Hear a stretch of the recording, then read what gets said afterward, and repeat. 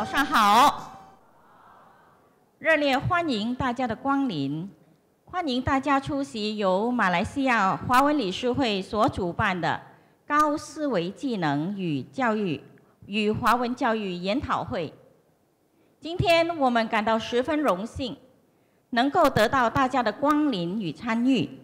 这次研讨会是由马来西亚华文理事会主办，协联办单位是马来西亚留华同学会。这项学术研讨会是为我们国内的华文教育工作者，特别是在最前线的老师与其他教育机构的人员，以及所有关心华文教育的公众而举办的。华理会举办这项研讨会的目的，正如其主题“高思维技能与华文教育”，在于让与会者，尤其是教育工作者，能够更了解高层次思维技能对华文教育教学所起的作用。各位，研讨会的主题演讲为。高思维技能与华文教育研讨会，这是中国湖北大学历史文学院副院长郭亚博士在其学术生涯所致力探索与推动的。各位老师，在这次的研讨会里，我们非常荣幸能够邀请到三位来自中国的资深老师到来发表论文。与示范教学，先给大家介绍郭亚博士。谢谢郭亚博士。第二位是谢汉之副校长，有请。谢谢谢汉之副校长，以及陈伟东老师。来，我们欢迎陈伟东老师。好，非常感谢三位嘉宾。大会有请工委会主席王洪才先生致欢迎词。我们欢迎王洪才先生。马来西亚华理事会主席唐伟杰博士，马来西亚留学同学会会长陈志成先生在哪里？哦，在那边。OK，他是我的好朋友，老朋友。也是时常挖苦我的朋友，所以我们就划清界限了，就说非公司不谈了，是吗志成，啊，中国华中师范大学郭亚教教授、谢雅芝副校长及陈晓东高级教呃教师，华理会各位的执委和工委会成员，在座的各位督学。各位老师，啊，媒体还中啊还在来来做中，各位老师们，来自华小啊中学的老师们，这是读中，大家早上好。啊，首先我代表华理会欢迎你们今天的出席，由华理会及啊刘华学办的高师人。高思维技能及与华文教育研讨会。首先，我先向大家致歉，今天我早上的安排，尤其是我们的早餐，姗姗的来迟，让你们稍微的呃等候。下下次我们保证明天会肯定会更好，哦，呃，呃，刚才有老师跟我说。不是投诉吧？就跟我说没有咖啡，没有茶，啊，实在是我们忽略了。后来有补充，但是上早早上的那那那那几位老师就可能就就没有得到。但是无论如何，你们下午的午茶，明天早上的早茶，你们的午餐，我们都尽快安排的最好。这是我们的主席，是说华理会主席的吩咐，是吧？都要做的。华理会每一样工作。每一个课程，每一个活动都是要做的最好，是吗，主席？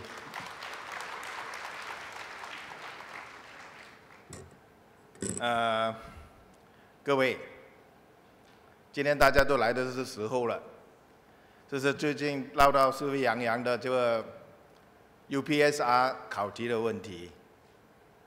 其实我们也大家在教育界的华教人士也感觉到很心疼。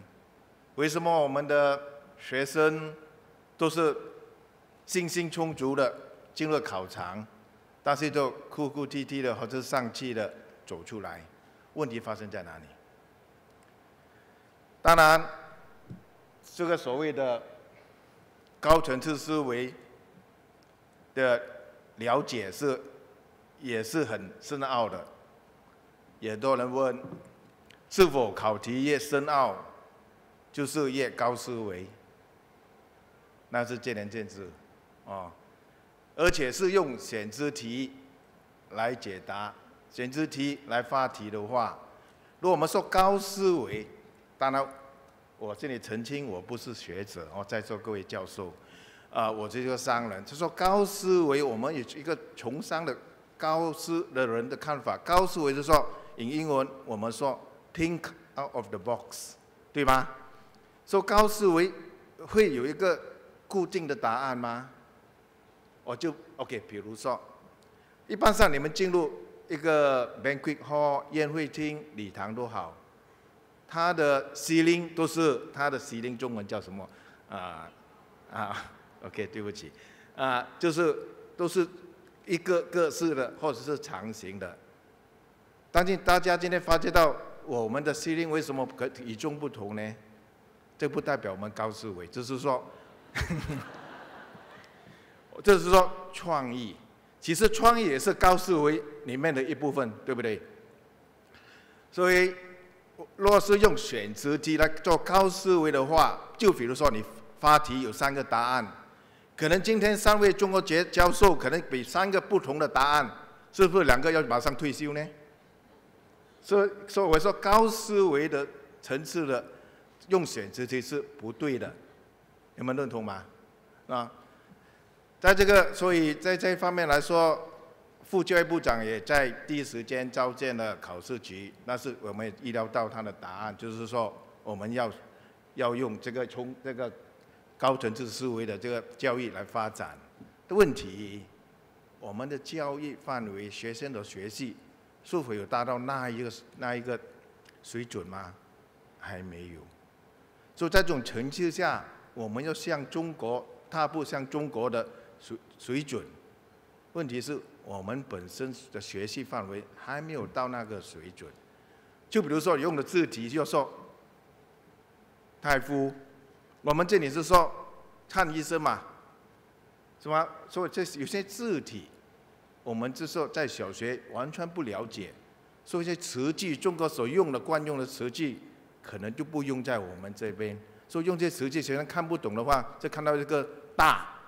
可能早上上早上一一起来的就大那个字的感觉，啊，所以所以这个用词就是应该用在国内所惯用的词句，除非当然考试就可以说学生如果是有多阅读的话，这个问题可能不会产生，但是那个是比例，因为看你的书本是在国内书本还是国外书本，所以这一方面来说啊，是说啊，马华工会也是会在这个星期三。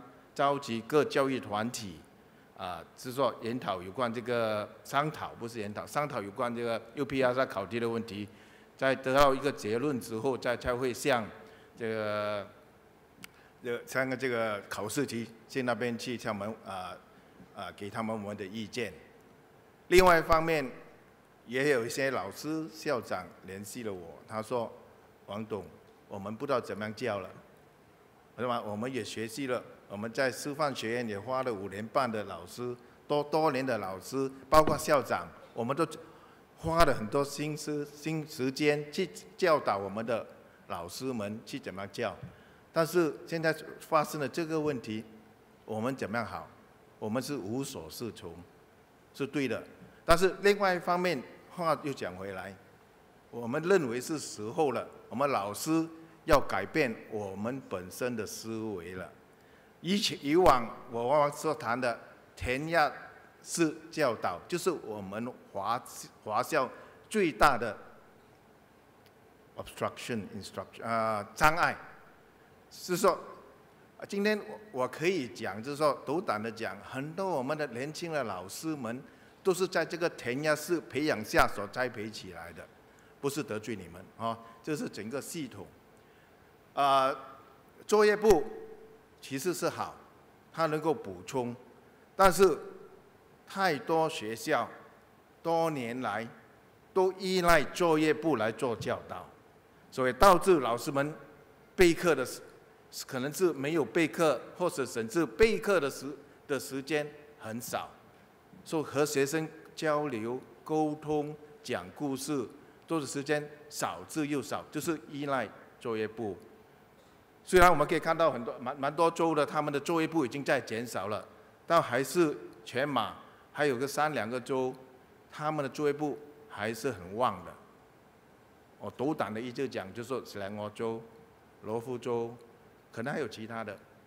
所以这一方面来说，如果校长、老师们没有做这个改变的话，我们的华校的前途实在是无量，这个灯都可以熄了啊。所以，高思维开始就是我们老师们的思维要开始做转变了，要做改变了。我们以前所那一套所谓的作业部的依赖性的教导不能用了，所以我希望校方行政也好，老师们啊，开始做自我检讨，能够给这个这个以后的路怎么样走，教导方式怎样去改。如果有需要的话，我相信华理会主席都会认为认同我的。我们呢可以多办多多几场。如果是认为以这个教育提升老师的教育教育思维的话，我们都很乐意去可以可以去协助这一方面。呃，除此之外，就这礼堂，你们感觉到怎么样？舒服吗？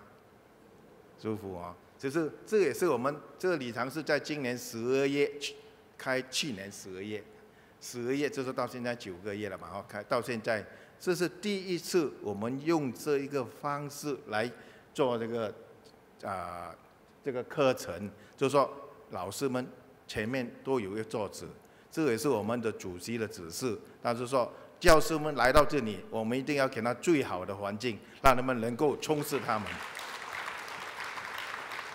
啊，当然，那个设备花费都是不少钱，但是我们认为，如果它效果效果是充足的话，再花多一点钱，多花点时间，我们都是认为值得的，因为都是为了我们的下一代，是吗？是孩子们都是在老师们的手上，若若老师们能够能够得到充实的学习的话，孩子们肯定有机会。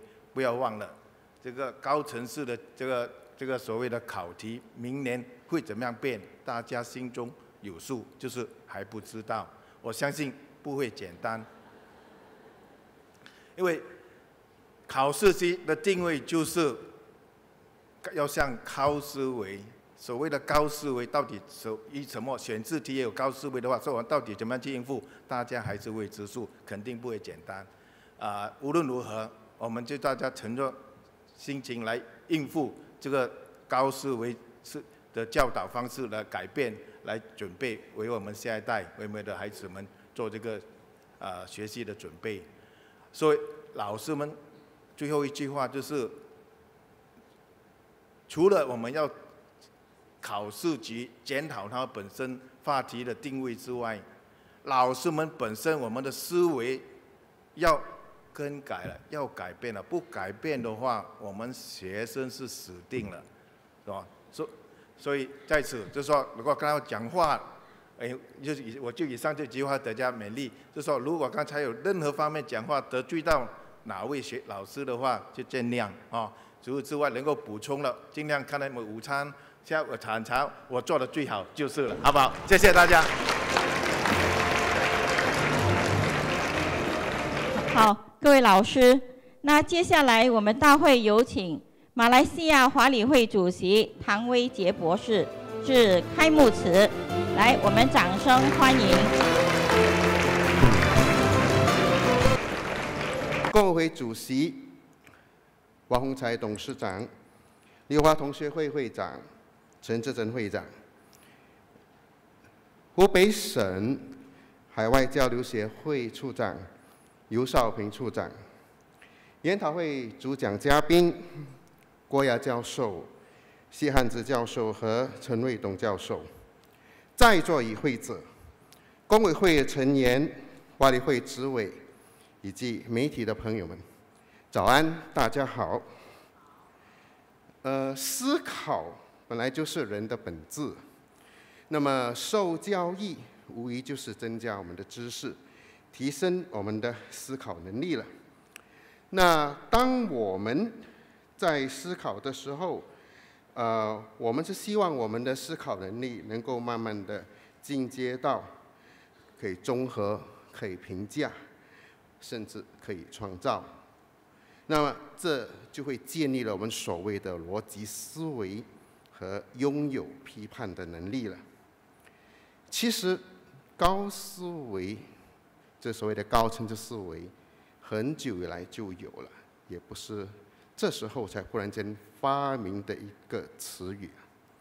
换言之，我们如果能够明辨是非，也可以应用我们的经验和想象。去做出预测和结论，我们其实就是在应用我们的思考了，也就是我们作为人的本质，要能够懂得想，这也是教育的最基本的要求。近年来，马来西亚教育局它推行了要加强学生的高思维能力，这小学的标准课纲呢，已经进行了五年，明年进入第六年。中山的华文科呢，它也改变了它这个初中评估考试的测试方式，呃，逐渐的也可以说到今天，它取消了所谓的客观选择题，在这个理解部分呢，那这个写作的还是保留。同样的，中五的华文科，他来到了这个马来西亚教育文凭考试里，那么他也走向采用简答题的方式来出题。凡此种种的变化，其最重要的目的是要学生能够独立思考。这如果来中华文化来看，这个我们说的五千年历史，很早很早就是古人的智慧了。其实也没什么，我们今天教育也本该如此。有鉴于此，华文理事会认为是时候，呃，聆听一下老师们。在这所谓的改变期间，在教导华文的时候，提高学生的高思维技能，那有什么样的看法？有何心得？或者面对怎样的困难？就在这个一个星期前，我们这个研讨会还没开始的时候啊，呃，正如刚才这个呃我们的副主席也提到了。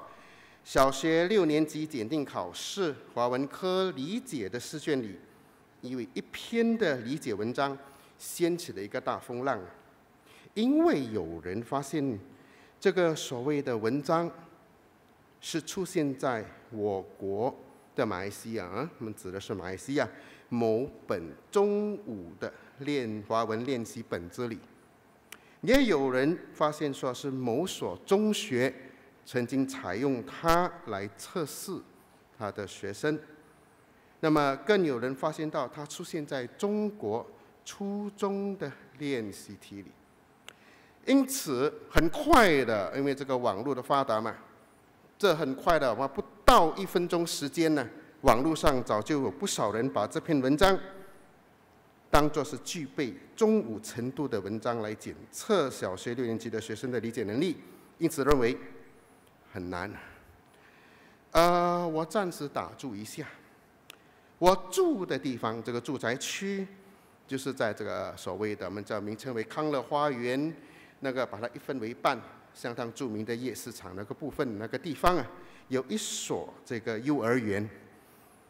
这个幼儿园呢，它都是教导四五岁的孩子的，幼儿嘛，四五岁还就学前教育。那我常常会经过那儿，就会听到这些三个年级的小朋友，他们会一起唱歌，大家一起来在幼儿园的院子里唱歌。那么其中有茉莉花，哦，这个呃歌曲应该大家都是耳熟能详，它不是永垂不朽，不过是耳熟能详的歌曲。他也教英文歌啊，那个 We Are the World，We Are That Chicken，他一直唱啊，小孩子不管什么音都好，他都唱，唱的所有人都非常的感动啊。那么有时候，当父亲节、母亲节来临的时候，他们交奉献。这个交奉献的时候，他刚好对面有个餐馆，那么是熟食中心嘛。小贩人也常常能够听到他们唱歌，所以会跟着他们一面煮一面炒一面唱，大家唱得不亦乐乎。尤其唱到奉献的时候，是泪流满面呢，甚至很想跟他们一起携手同行，迈向二零二零鸿雁。啊，这个这个这个记错了啊！那个一般上我们都是会把思维飘得很远啊，对不起。那我再倒回来呀，那我接回刚才谈到的这个小六检定考试的理解文章里头的这个风波啊，如果我们用二分法，那就是不是这样就是那样，甚至很快的就下一个结论，它出现在这个中学的那些本子，它的程度就是中学的。那么，不妨我们今天用相反的角度来看看这个幼儿园。刚才他们唱的这首这些歌曲，《茉莉花》，尤其是《奉献》，是否我们可以把它归为幼儿之歌呢？我们用逆向的方向来思考的话，它是不是属于幼儿之歌？那么以后啊，我们这个某电视台呀。有常常在最近几年来有所谓的经典歌唱比赛啊，这经典歌唱比赛，假如有乐龄人士偏偏选唱这个奉献，司仪应该怎么介绍呢？他应该会介绍说，接下来的这位参赛者选唱经典儿歌奉献。啊，我把接下来的这一时间。交给我们来自湖北大学的三位教授和与会者进行密切的交流，以便能够把我们的华文教育办得更好。我仅此宣布，以高思维技能、以华文教育为主题的华文研讨会正式开始。谢谢大家。各位来宾，那大会非常感谢呃华理会主席的这一番话。那其实教学。不是一成不变的，我们必须从多个角度哦去探讨，多个角度去看问题哦，就是这样的情形。那啊好，那大会非常感谢呃我们这一次的那个研讨会能够得到来自中国的郭亚博士、谢汉之副校长以及陈伟东老师来给我们演讲。所以呢，在此我们将举行一项。颁证纪念品仪式，我们有请呃马来西亚华理会主席唐维杰博士颁证。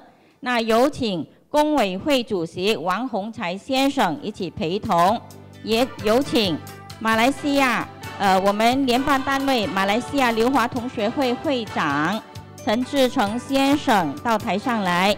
有请湖北省海外交流协会诶处长尤兆平先生。一起到台上见证陪同，来有请。好，我们感谢郭亚博士给我们主讲。好，下来有请谢汉之副校长。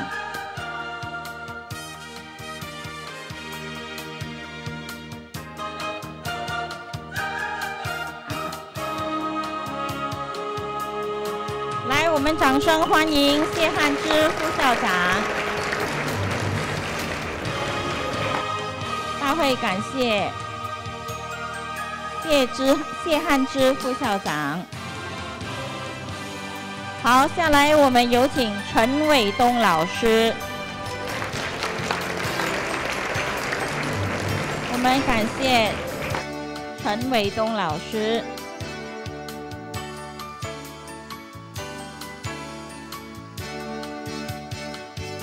谢谢华理会主席。那接下来呢？呃，这一次的那个领队就是湖北省海外交流协会的会长尤兆平先生，也有呃纪念品回赠。我们先请呃马来西亚华理会主席唐威杰博士接领。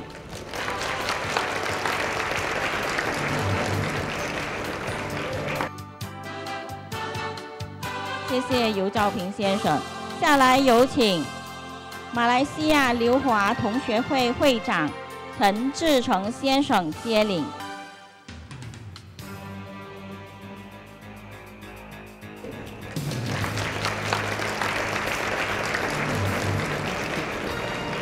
各位老师、各位来宾，那今天我见到来自全马各地的老师欢聚在这里。那从各位老师的脸上可以看得出，大家学习的兴致非常高。那我想这两天的研讨会呀，其实就像我们老师的教育桃花源。那我相信大家会很期待。那各位老师，请问你们会期待吗？会吗？来一点反应好不好？好，非常感谢。那其实我也跟大家一样，非常期待这两天的演讲。那事不宜迟，我把下面的环节的时间，就是主题演讲的时间，交给我们的主持人刘荣喜督学。我们欢迎刘荣喜督学。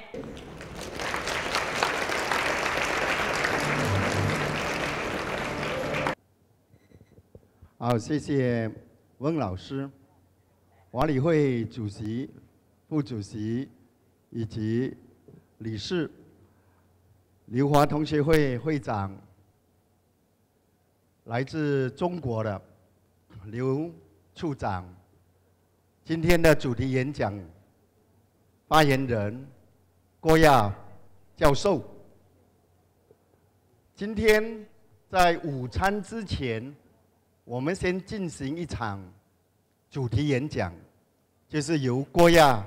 教授和大家分享高思维与华文教育。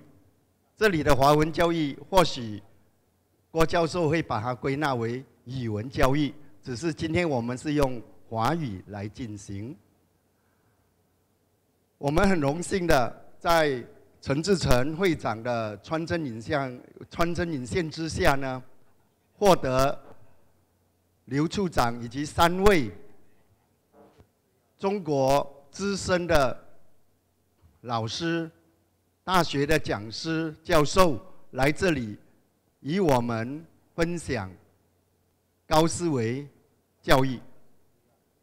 马来西亚在面对一连串的教育改革，我们的学生要面对 B 萨考试，面对 Teams 的考试。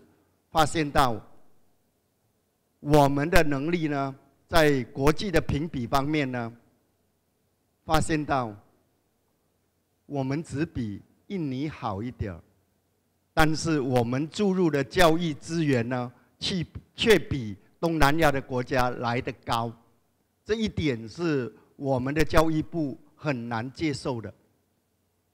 那么发现到我们从小学到中学的考试呢，就是少掉了所谓的 HOT Higher Order Thinking Skill 或者马来文的 KBAD KBAD，就是 Kemahiran Berfikir Arastingi 的这个技能。所以华理会义不容辞的，今天召集了来自全国的师范学院讲师、中学校长、小学校长、各州督学。还有我们的中学、中小学老师，在假期的第一天，牺牲了你们的假期时间，自费来到我们这里全国两百所华文中小学最堂皇的礼堂，六星级的 Galaxy Banquet Hall，我们给王董一个鼓励的掌声。应该我们走过这么多学校，应该这所。学校的礼堂是最堂皇的哦，设备也是最先进的。那么今天我们的主题发言人呢，主题演讲是高思维技能与华文教育。我们的嘉宾来自中国华中师范大学博士郭亚教授。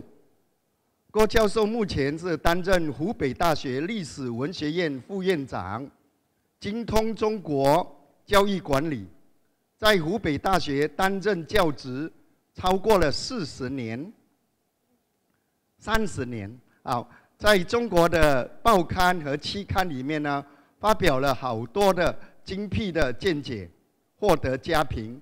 目前呢，郭教授也是硕士班学生的导师。主题演讲的提纲呢，会包括高思维教学的含义和四师本教学的必要，高思维教学的目标和高思维能力的培养。注意啊，培养而不是训练。华文教育以高思维教学，以及在华文教育中要怎样落实、怎样实施，这个是大家都引颈期盼的。我就不耽误时间，请郭教授开始今天的主题演讲，时间约一百一十分钟。接下来我们有六十分钟的交流，所以就像刚才主持人啊所说的，请你们把问题写上一张写在一张白纸上。等下在在交流的时候呢，请你们把你们的问题呢提上来。好，在我们一面思考问题，一面就听。我们的郭亚教授呢，与我们分享高思维技能与华文教育，有请。大家早上好。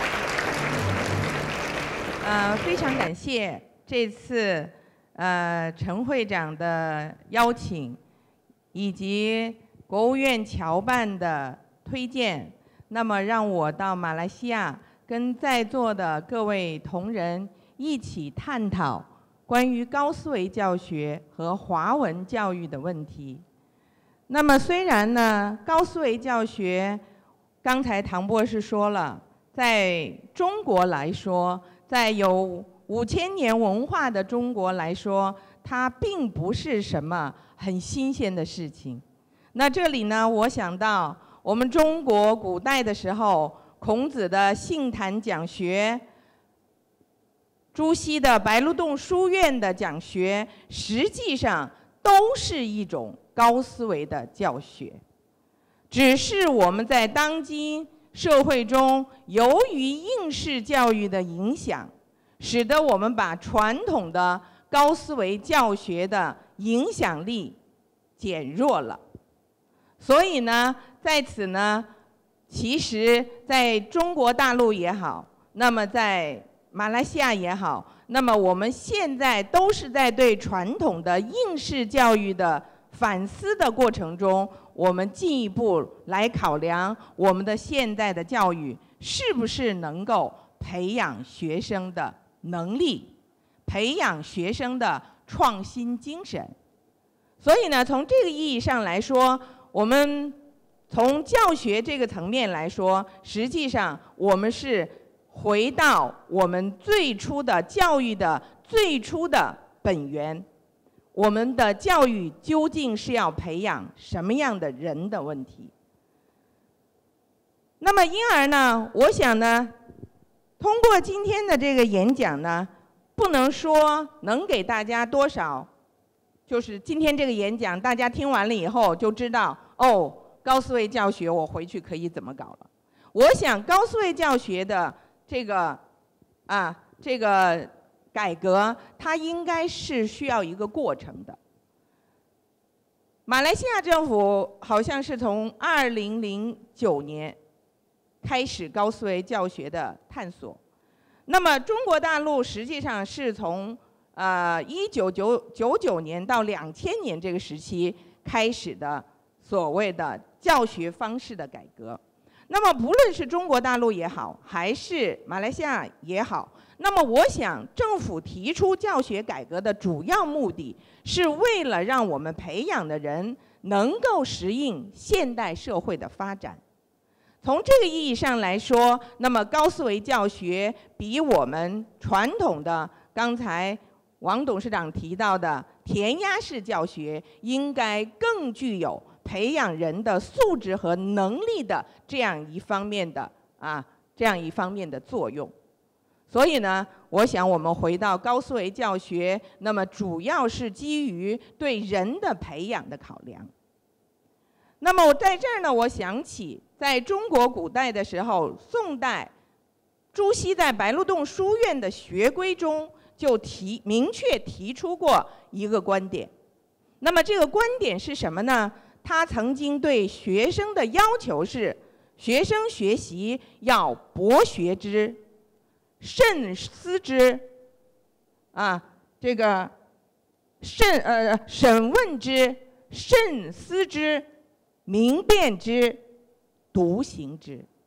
那么大家可以看这样一个过程，那么这个过程实际上就是一个高思维教学的过程。而且我们可以从中国传统的书院教育，那么它的教学方法，以及孔子在信坛讲学上的教学方法，我们也可以清楚的看到，那么我们的教育，我们老祖宗的教育，实际上就是在不断的开发学生的高思维。因此呢，今天的这样一个啊演讲。那我主要呢，从这样几个方面来跟大家一起探讨高思维教学和华文教育啊，应该是什么的问题。至于高思维教学应该具体怎么操作的问题，我想下午由谢校长和陈主任跟大家做进一步的具体的研讨。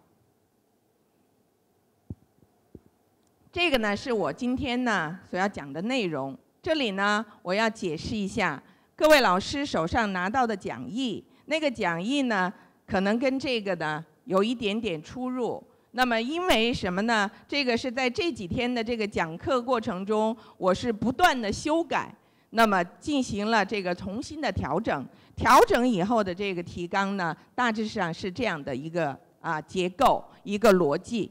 但是呢，总体来说呢，内容层面啊不会有太大的出入啊，所以呢，这个首先跟老师们做一下解释。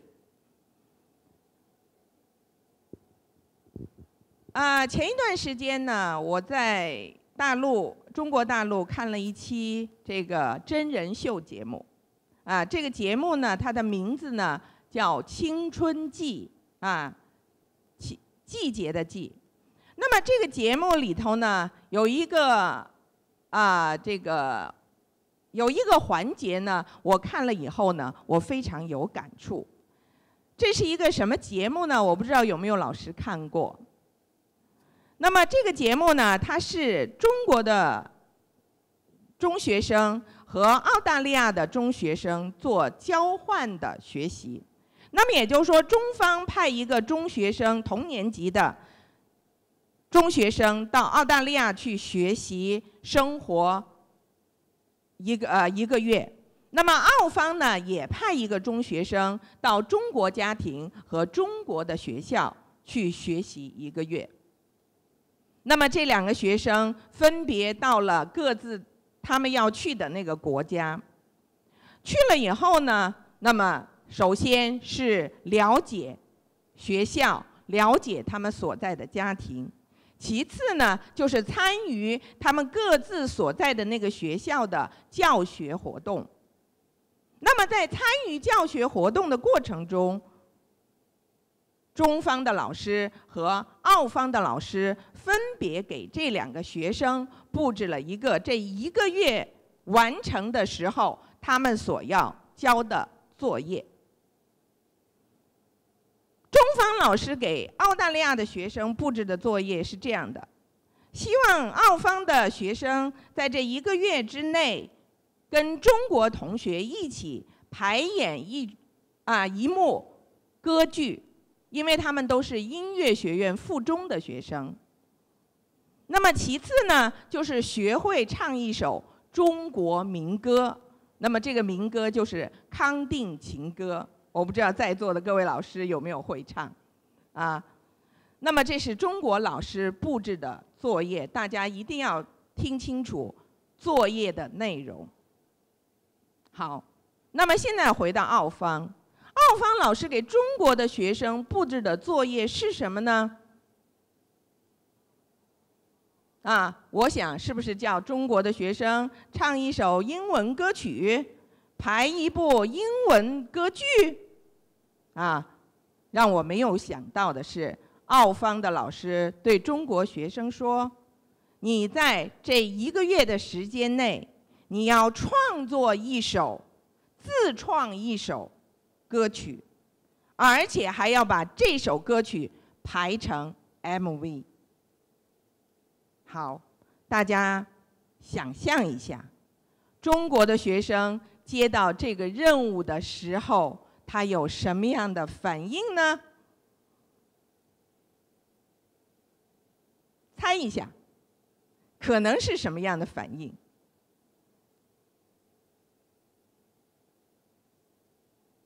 可能什么样呢？啊！我当时看到的画面是，中国的学生瞪大了眼睛看着老师，问：“是真的吗？”老师说：“是的。”学生连着说：“怎么可能？怎么可能？完全不可能！”连着三句话。那我当时就是在想，中国的学生。为什么会有这么强烈的反应？那么我们再回到这两个问题上，或者这两个作业上，我们比较。那么各位老师觉得，中方的老师和澳方的老师布置的作业有什么不同呢？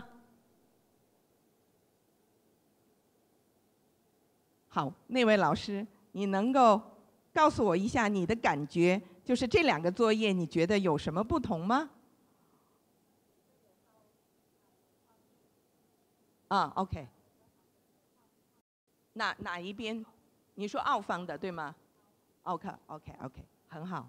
那么也就是说，我们所有的人，我们看到这两个作业以后，我们都会在想：啊，这个老师布置作业的目的是什么？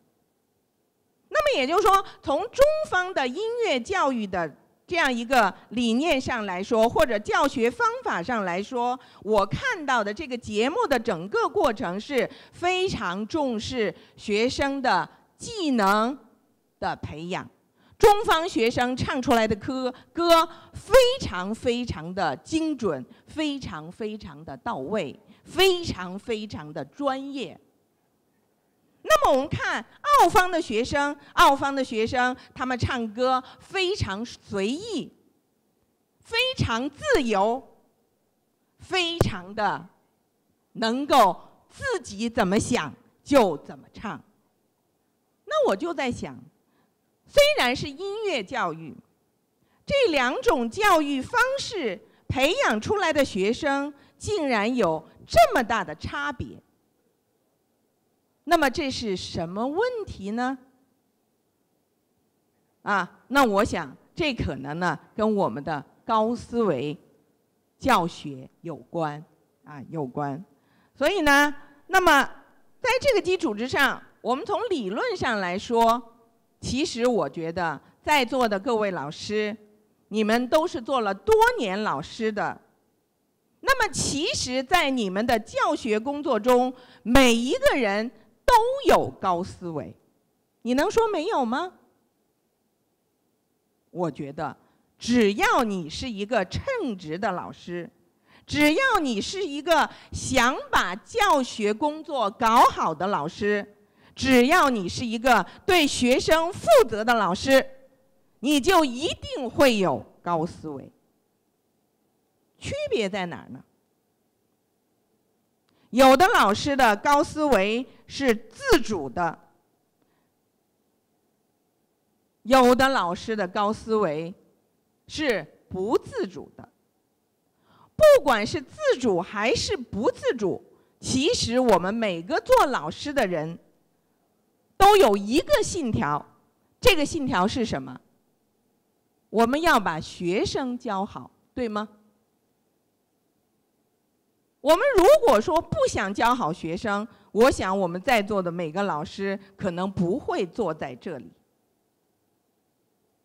如果我们不想教好学生，我们可能在讲台上也站不稳脚跟。所以我说，老师是什么？啊，在中国大陆有一句对老师的评价叫做“老师是蜡烛”。什么是蜡烛？蜡烛首先要燃烧自己，然后才能照亮别人。但是我又想，我们的老师是不是只要做蜡烛呢？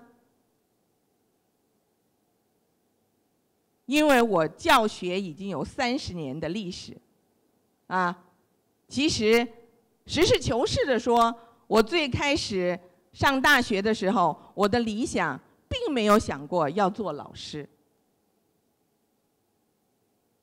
大学毕业的时候，机缘巧合，走上了讲台。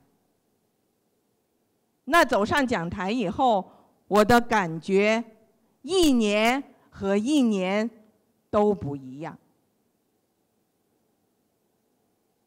我二十二岁第一次走上讲台，我面对的学生是年纪比我大很多的学生，因为那个时候中国在搞成人教育，所以呢，我教的第一届学生是成人学生，他们的年纪都比我大很多，所以当我走进教室的时候。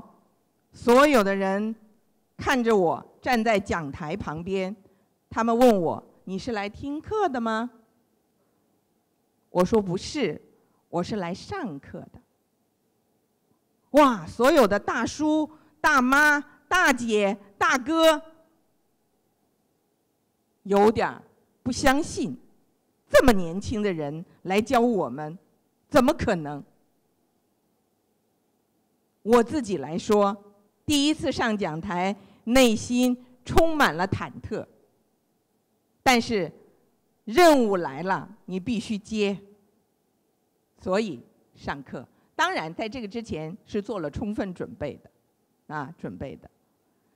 课讲完了，一个小时的课讲完了以后，所有的人告诉我，看来你还是个老师。所以呢，从这个意义上，这是我的第一次的教学经历，啊，那么第二年开始教自己的学生，啊，我们中国大陆的这学生，我们一般来说是十八岁上大学，四年大学毕业二十二岁，那么我开始教我的第一届的学生是大二的学生，十九岁，那么我开始走上讲台的时候，也只比他们大不了几岁。所以呢，他们把我叫大姐，我管他们叫小弟小妹。那么，开始接触学生以后，我的感觉是什么？我原来想象的老师是什么？就是我把课备好，我就可以年复一年、日复一日的这样教下去了，因为课的内容都是那么多嘛。教了一年、两年。三年、五年、十年、三十年，到今天为止，我的自信不是越来越多，而是什么？越来越少。为什么？我在考虑这个问题，我在反思这个问题。那么也就是说，我每一次面临的学生是不一样的。教师工作最大的不同在于，他所面临的是人。人跟机器是不一样的。电脑我们发一个指令，我们发什么指令，它有什么样的反应，对吧？但是你教师的教学内容出去了，是不是所有的学生都能够接受呢？不一定。所以呢，我那天在这个教育大学上这个做这个啊演讲的时候，我讲教师职业最大的魅力在哪里？是在于他时时刻刻面临的都是年轻的面孔。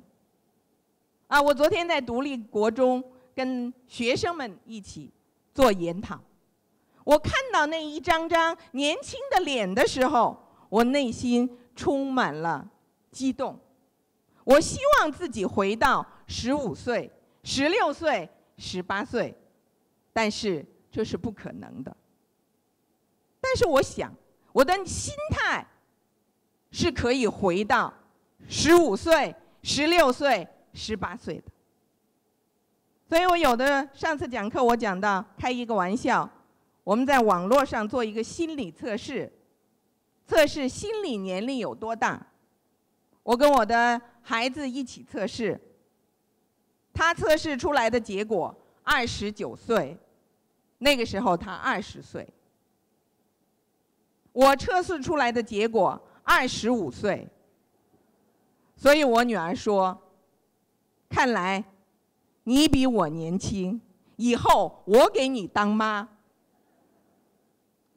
所以我觉得教师的这个职业，它的最大的魅力，第一呢，就是我们面临的是时时刻刻是一些不定性的因素，因此我对教师这个职业的定义。我认为教师这个职业是一种最有创新性的职业，是最有探索精神的职业。所以回到我们的问题：什么是高思维？那么关于高思维的问题，学术界有很多不同的理解。我现在找出来的这些。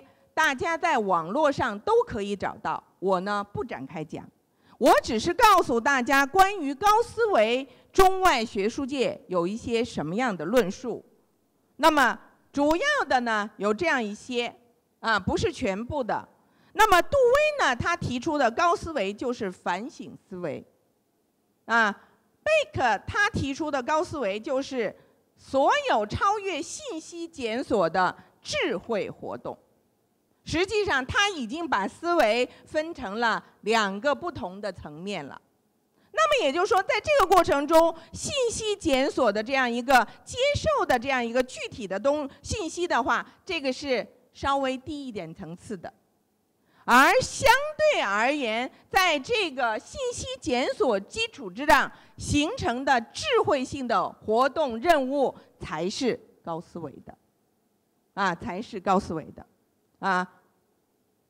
啊 r i s n i k 呢？他认为高思维是什么呢？是解决问题的路径没有确定，问题的解决有多种，而不是单一的方案。那么这个呢，就是告诉我们，我们在教学过程中，不是仅仅需要告诉学生这是什么，我们要告诉的学生比这是什么。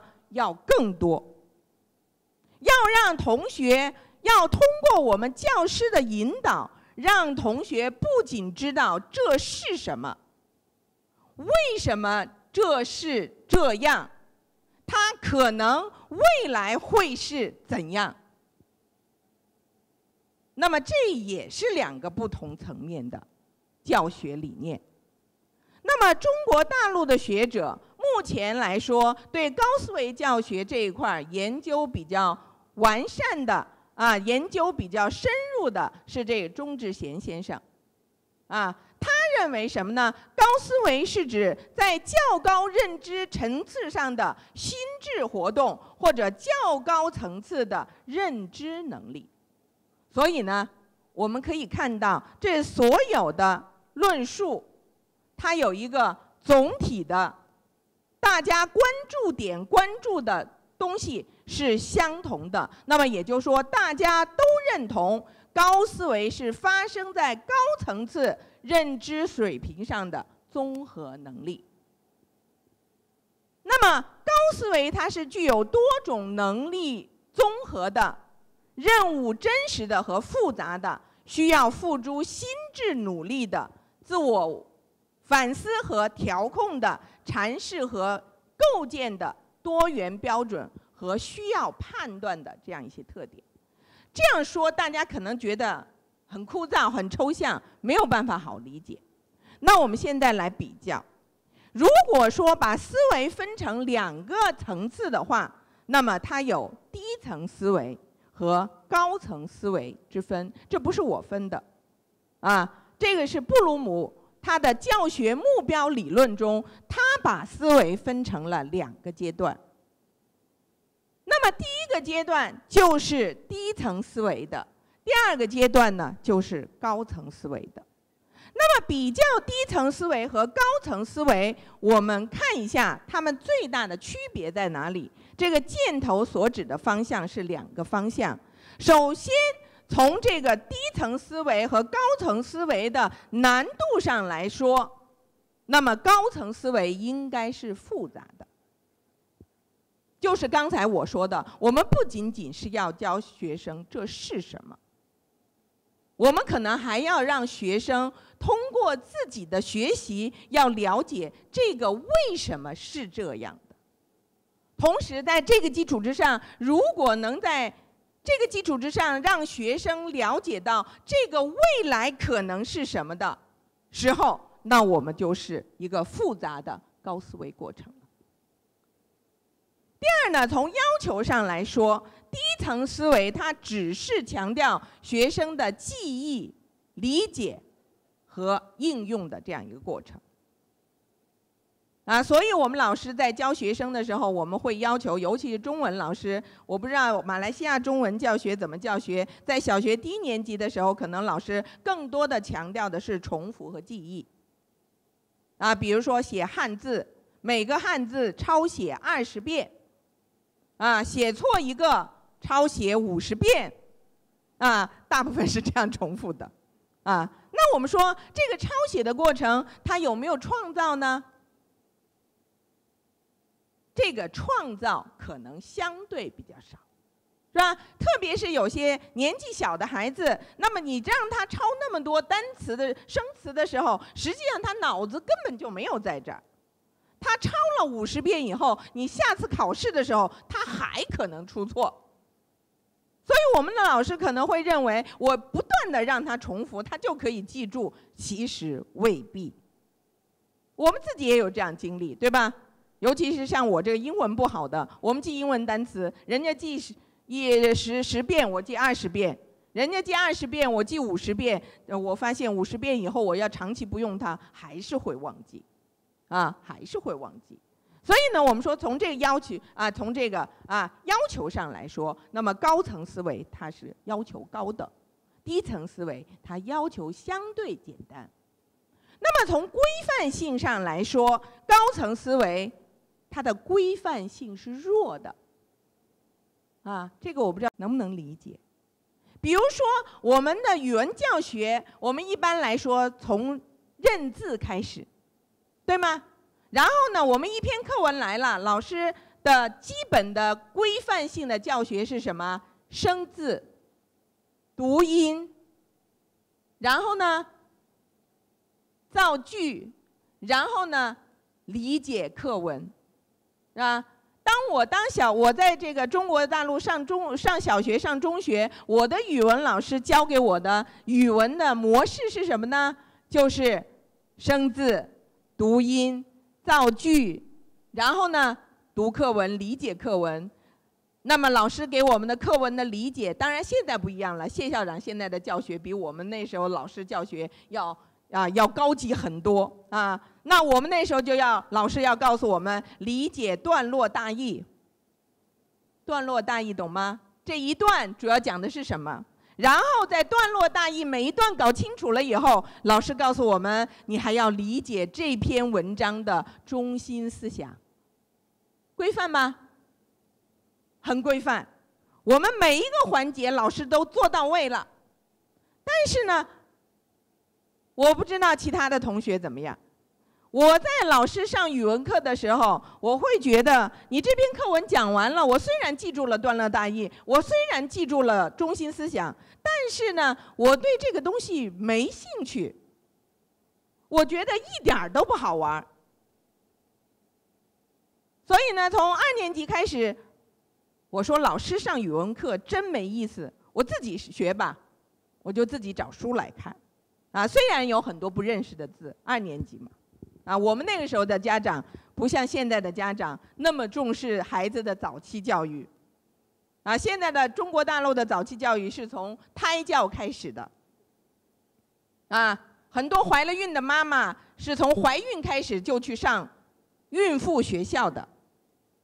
然后孩子的这个早期教育是从零岁开始的，我们没有，我们没有受过这样的教育啊，所以呢，我们的教育基本上啊是在学校接受的。那我就去自己看书了。第一次看第一本小说的时候，很多词不认识，啊，那我就看我认识的词。哎，我就发发现，你看这个书的过程中，你看第一遍不懂，你再看第二遍就比第一遍要懂得多一些。再看第三遍的时候，第三遍又比第二遍要懂得多一些。我记得我看的，我记忆力啊记得最呃最清楚的一部小说，这也是我读当时来说读的最后的一本小说，大概有这么厚，啊，这个叫做《新来的小石柱》。这个我记忆非常非常清楚。那么这本小说可以说是开启了我人生的阅读的大门的一部小说，因为那个时候中国大陆七十年代，我是七十年代读小学，中国大陆没有什么书好读，啊，了解中国历史的人大家都知道，经过了整个文革的十年以后，很多的书不复存在了，所以我们可以读的书是非常有限的。那就这本书开启了我。啊，读语文的兴趣，所以有一次老师让我们写作文，啊，当时写作文，同学们都觉得啊，怎么写呀，好难写呀。哎，我就突然觉得，我脑海里就涌动出了非常非常多的成语。这个成语从哪里来？从阅读中来的。就那一本书。然后呢，我就把所有我可以记的成语全部写在了我那篇作文中。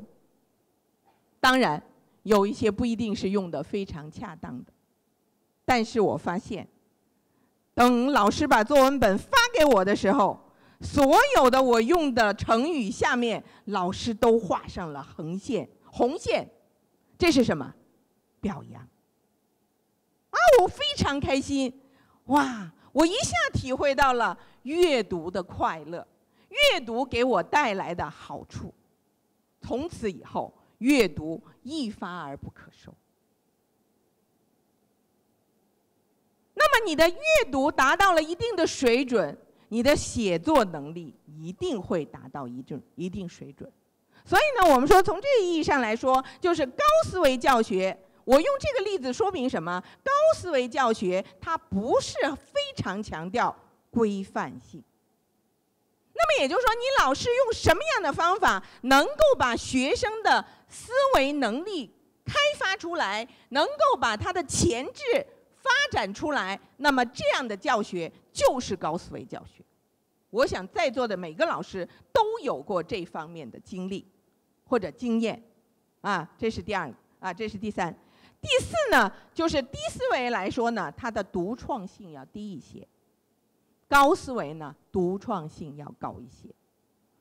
今天下午我们就可以听到谢校长和陈主任的讲课，大家也可以做比较。陈主任作为中高高中的中学语文老师，和谢校长作为小学的语文老师，他们两个的教学是有他们独到之处的。所以呢。我们说，一个教研室的六个老师全部都是教中文的，可能每个老师都有他自己独特的方面。那么，这个独特就是什么？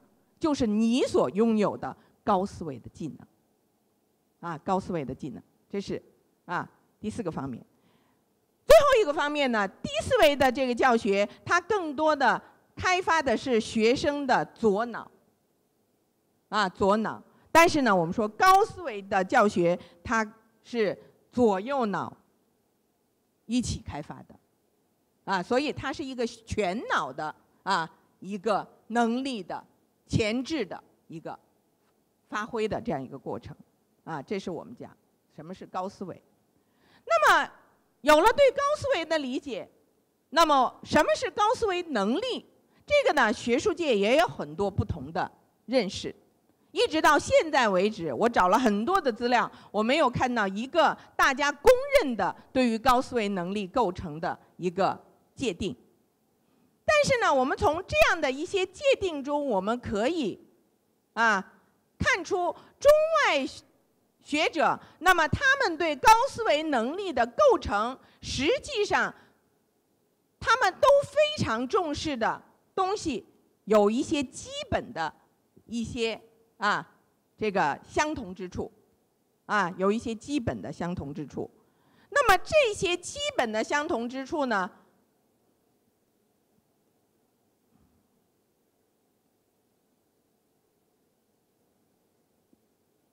和布鲁姆的这个把教学分成六个教学目标是有关的。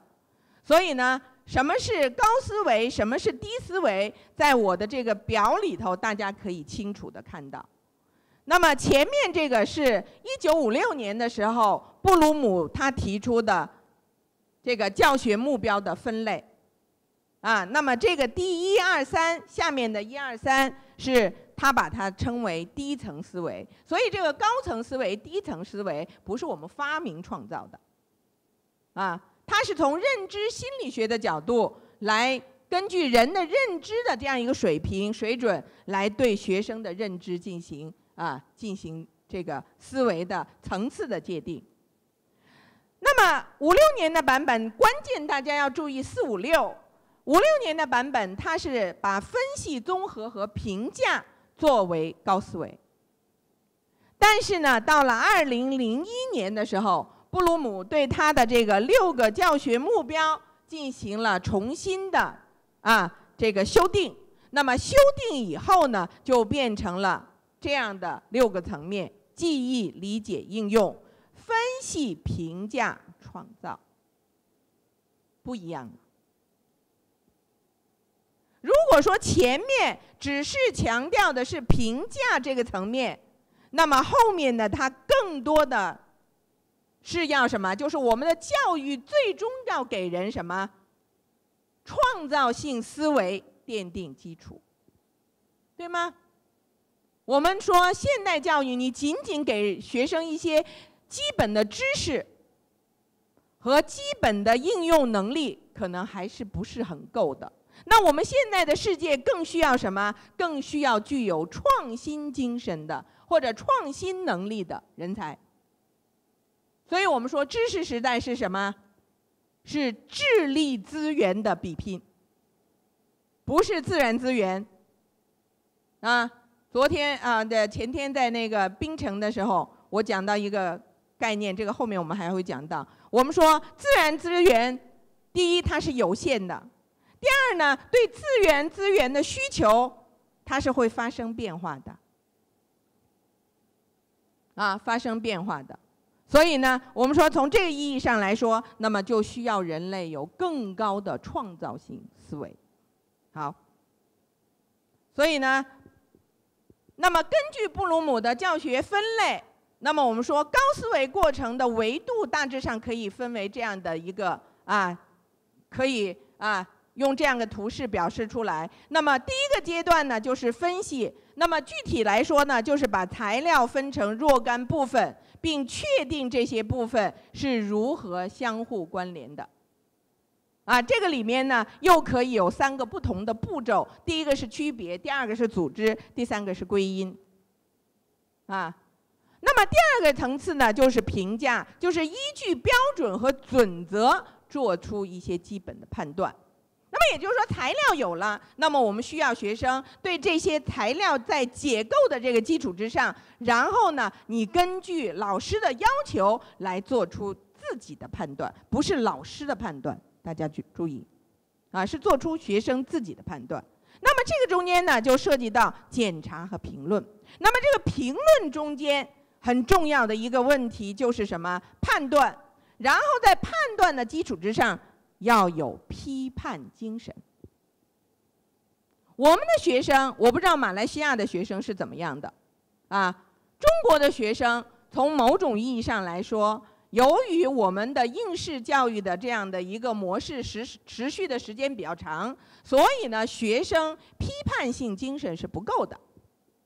尤其是我们当大学生的时候，那么老师教什么，我们就认为老师教的都是对的。我们没有质疑精神。其实，在朱熹的时候，他就提出了要慎思之，还要审问之，然后呢，要明辨之。你自己要做出判断。啊，我们现在基本上是老师替代学生做判断，老师说这个是对的，学生说哦，对的。老师说这个是不对的，学生说哦不对的。好，考试的时候，学生按老师说的，老师说是对的，啊，然后我自己想的，我就不敢往试卷上面写。我的大学，我的高中同学很好玩我们高考八十年代的时候，啊，我们考政治课，然后他不同意课本上的看法。于是乎呢，这位仁兄呢，非常的大胆。高考啊，大家知道，高考对于中国的学生来说是关乎自己命运的考试，尤其是八十年代的时候。八十年代初，那个时候你能不能进大学，意味着你未来的人生的发展方向的问题。我们这位仁兄。不按标准答案来，好写很多关于自己对于一个政治问题的看法。结果大家可想而知，高考落榜。第二年考试，我就跟他开玩笑，我说：“你还敢像去年那样吗？”他说：“不敢了，先把大学考上再说吧。”啊。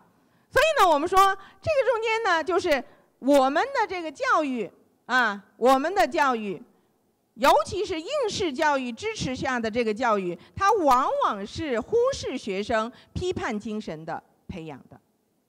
所以呢，我们的学生不敢质疑。当然，我们也欣喜的看到，中国大陆从九十年代以后开展教学目标改革。也在不断的修改我们的高考制度的同时，我们的学生思维开始发生一些变化了，这个是非常可喜的。所以我这个人有的时候喜欢观察，我上班上下班，因为我不会开汽车，我坐公交车，所以我在公交车上经常会碰到一些中学生、小学生，我喜欢听他们对话，包括幼儿园的小朋友，啊，因为我旁边正好有个幼儿园。我有的时候走在小朋友的后面，我就听他们聊什么。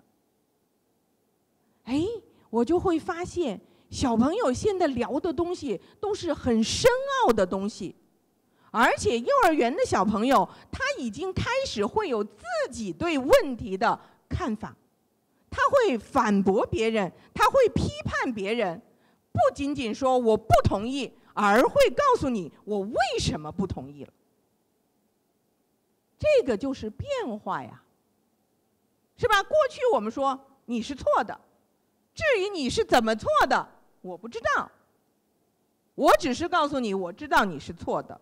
但是现在的小朋友，他可以说出很多自己的观点，当然这个观点也不一定是对的，但是他自己认为是对的。但是我觉得这已经是非常好的事情了，至少说明什么？他思考了。他有了自己的思维了，而不是说老师这样说，你就那样做。所以这样的幼儿园教育也好，中学教育也好，那么实际上是对我们每个老师提出了更高的要求，啊，更高的要求。好，那么第三个阶段呢，就是创造了，要把啊，要将这个要素，就是你所。得到的这样一些要素整合在一起，然后形成一个连贯的整体。同时呢，要将要素重新组合成一个新的模式或者结构。那么这个里面呢，它又可以分为三个不同层面。比如说，提出假设，然后对这个假设进行设计，然后在这个设计的基础上来建构你的知识的体系。实际上，我们现在的这个教育，实际上我们最终要达到的目标就是什么？就是要你能够提出假设，你能够对你的假设进行设计、进行论证，然后最后构建出你的知识体系，这个是最重要的。那刚才唐博士也讲了很多，我非常认同，啊，我非常认同。所以呢，从这个意义上来说，我们可能就要考虑我们过去那种满堂啊，你们这不叫满堂灌，你们叫填鸭式那种教学，是不是能够完成对学生的这样一个知识体系的开发？啊，知识体系的开发，啊。那么，我们从上面的内容，我们可以概括高思维能力的一些本质的特征有哪些呢？那么，简单的说，啊，这不是我概括的，是学术界的其他的同仁概括的。我我把它搜集来啊，跟大家一起分享。第一呢，就是高思维、高层思维设计的认知过程，它是一个更复杂的认知过程。它是不良结构环境中的认知和原认知策略。那么这个地方涉及到一个不良结构。我们说良好结构是一种什么样的结构呢？我说了，大家就理解不良结构是什么。良好结构就是这个东西是什么，你可以直接给出答案的，就是良好结构。比如说一加一等于二。当然，陈景润说了一加一不等于二，是吧？那么这个是良好结构的。但是呢，有一些东西它是不确、具有不确定性的，你不能给出它是不是就是这样的一个结构的这样一个结构，它就是不良结构。那么思维的教学，它更多的解决的是不良结构的问题，啊，是不良结构的问题。也就是说，可能有的问题是多元选择的。而我们现在提倡多元化嘛，对吧？我们对问题的解决的思路来说，我们也应该允许学生应该有多元思维的，啊，多元思维的。比如说一篇课文出来了，过去我的教学老师告诉我段落大意、中心思想，那我就按照老师的这个去背了，所以全班同学的答卷上可能是一个一模一样的答案。但是现在的这个教育来说，高思维教育，那么每个人的理解能力不一样，每个人看问题的角度不一样，那么一篇课文你的理解可能就是五花八门的。我在我的教学中，我跟学生，我考试，我一般来说不出太多客观性的题目。那么我就跟学生说，我说不管你持什么样的观点。你只要让你的这个观点能够立得住脚，就是 OK 的。什么叫立得住脚啊？你要有一个问题，然后呢，你要针对这个问题，你要给出我充分的证据，证明你这你对这个问题的解释或者设计是能够成立的。然后最后呢，在一定的逻辑的。推理下，你推出你的这个结论是合理的，你的考试就是 OK 的，啊，就是 OK 的。当然，也不是说我做的就一定是非常好的了，只是说我们在三十年的呃，在这个常年的这个教学过程中，我们也是在不断的探索，啊，不断的探索，这是一个。第二呢，就是高思维能力呢，它不是惰性知识的保持。啊，那么它更多的涉及到的是知识的迁移。那么也就是说，我学了这个，我可以把学的东西迁移到我没有学的东西上去，理解更高层次的东西。所以它不是惰性的，不是我们记诵，啊，不是只是要求我们背诵、记忆，啊，那么它更多的强调的是运用、创新，啊，这是第二。好，第三呢，就是高思维。能力，它虽然离不开记忆和理解，但是它已经不是简单的记忆和理解了，啊，不是简单的了。那么他强调的是从认知类型的和认知水平这个角度提出，它对于我们来说更进一步的深入的理解智力和能力或者智慧的内涵是有非常重要的帮助的。好，这是关于高思维能力的一些本质特征。好，那么我们说我们为什么要进行高思维教学？刚才唐博士讲了很多了，我这儿呢概括的说一下啊。那么高思维教学实施。为什么要在现代社会提出？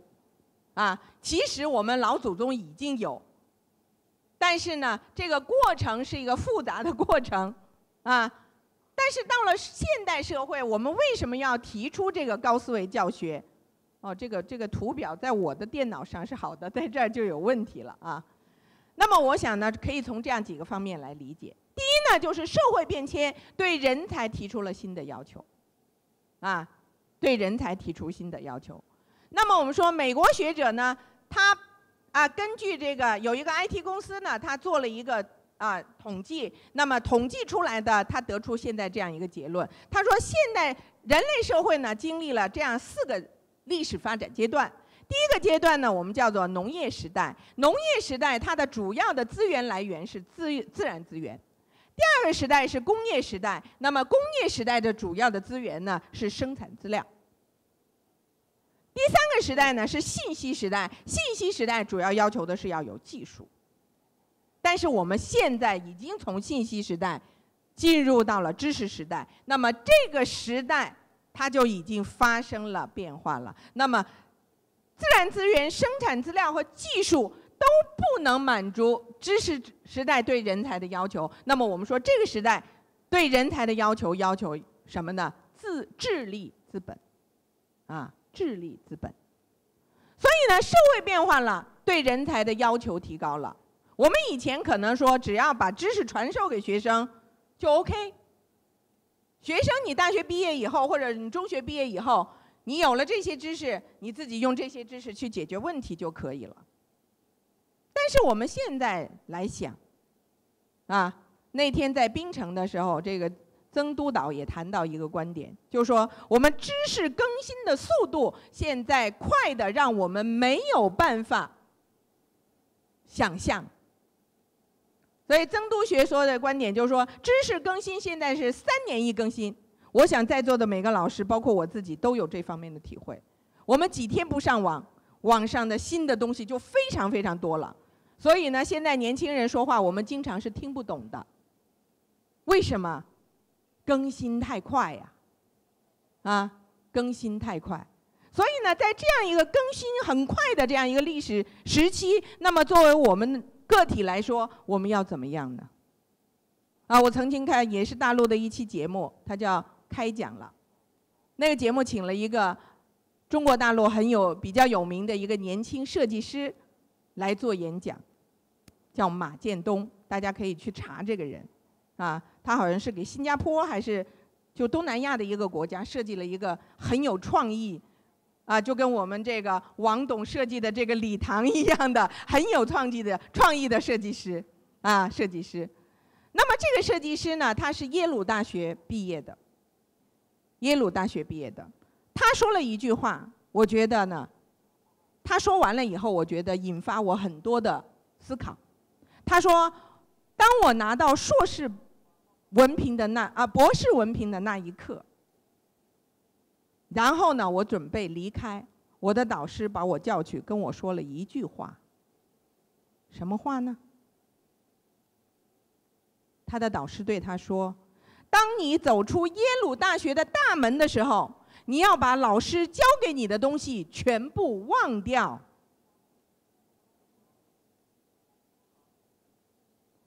大家想一想，老师为什么跟他说这样的话？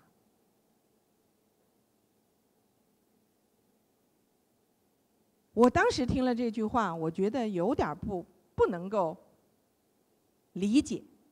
但是呢，当我关上电视机，我躺在床上，我再再来回味这句话的时候，啊，我觉得太有道理了。为什么？老师教给你的，是老师的思维。老师希望你，我把这些东西教给你，你要有自己的思维，你不要受太多老师的思维的限制，是不是很有道理啊？非常有道理，非常有道理。所以我觉得我们古人也非常有智慧。所以孟子呢，他等曾经就说了：“生于忧患，死于安乐。”一个人、一个国家、一个社会，如果没有忧患意识，你可能永远不能前进，不能进步，是吧？我不知道马来西亚的中小学老师，你们的这个职场生涯是什么样的感触？啊？我们在八十年代，我刚当老师的时候，我觉得那个时候当老师确实很舒服。为什么？一个星期上完我的课，我们大学老师不坐班，我就可以回家了。你回家做什么？没人管你。你想搞科研呢，你就搞科研；你不想搞科研呢，你就在家当保姆。你不想当保姆呢？你还可以出去再找一个第二职业，赚点钱。但是我们会发现，从八十年代啊，从八十年代末期到九十年代末期这十年，中社会发生了非常非常大的变化。我们现在的高学高校的老师的生存状态是什么？每一天叫做我把它形容为。如履薄冰，怎么样？如履薄冰啊！社会变化了，时代变化了，对老师的要求也变化了。所以呢，你如果跟不上那个时代的变化的话，你可能就会被淘汰掉。我们不是没有淘汰，我们是有淘汰的。啊，当然，这个淘汰可能不是说你离职，你做不了老师这个行业，老师这个职业，你去做别的。啊，你去做别的，那老师说没关系，只是换了一个位置而已啊。但是作为老师来说，能不能在这个讲台上站稳脚跟，这个是什么？这个对你来说？按照中国人的说法，是个面子问题呀。如果你这个讲台站不稳了，你被人家调到后勤集团去管理食堂了，甚至在食堂去扫扫地了。当然，我不是说有老师到去扫地了啊。那你觉得，你的学生在食堂碰到你，你是什么样的心理感受呢？是不是？所以我们说，人要有忧患意识。我们也经常教育孩学生，教育孩子。啊，要有忧患意识。那么我们自己是不是也应该有忧患意识？那么不仅是中国，我们老祖宗有这样的智慧，那么未来学家他也有这样的说法。他说，如果不事先做好准备，不从事有关未来的教育，就难以适应急剧变化的社会。啊，这说明呢，中外啊古今的啊思想家他们的说法是一致的，啊。第二个方面呢，就是传统的教学方式已经不能适应社会对高思维人能力人才的要求了。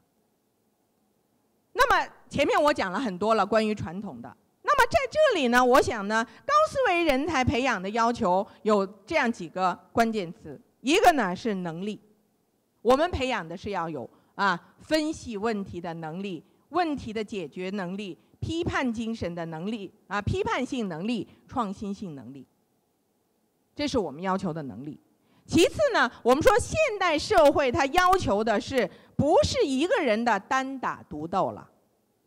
啊，我不知道马来西亚的老师是怎么样。我们中国的中小学老师，我们一门课程，我们是要求老师团队进行协作备课的。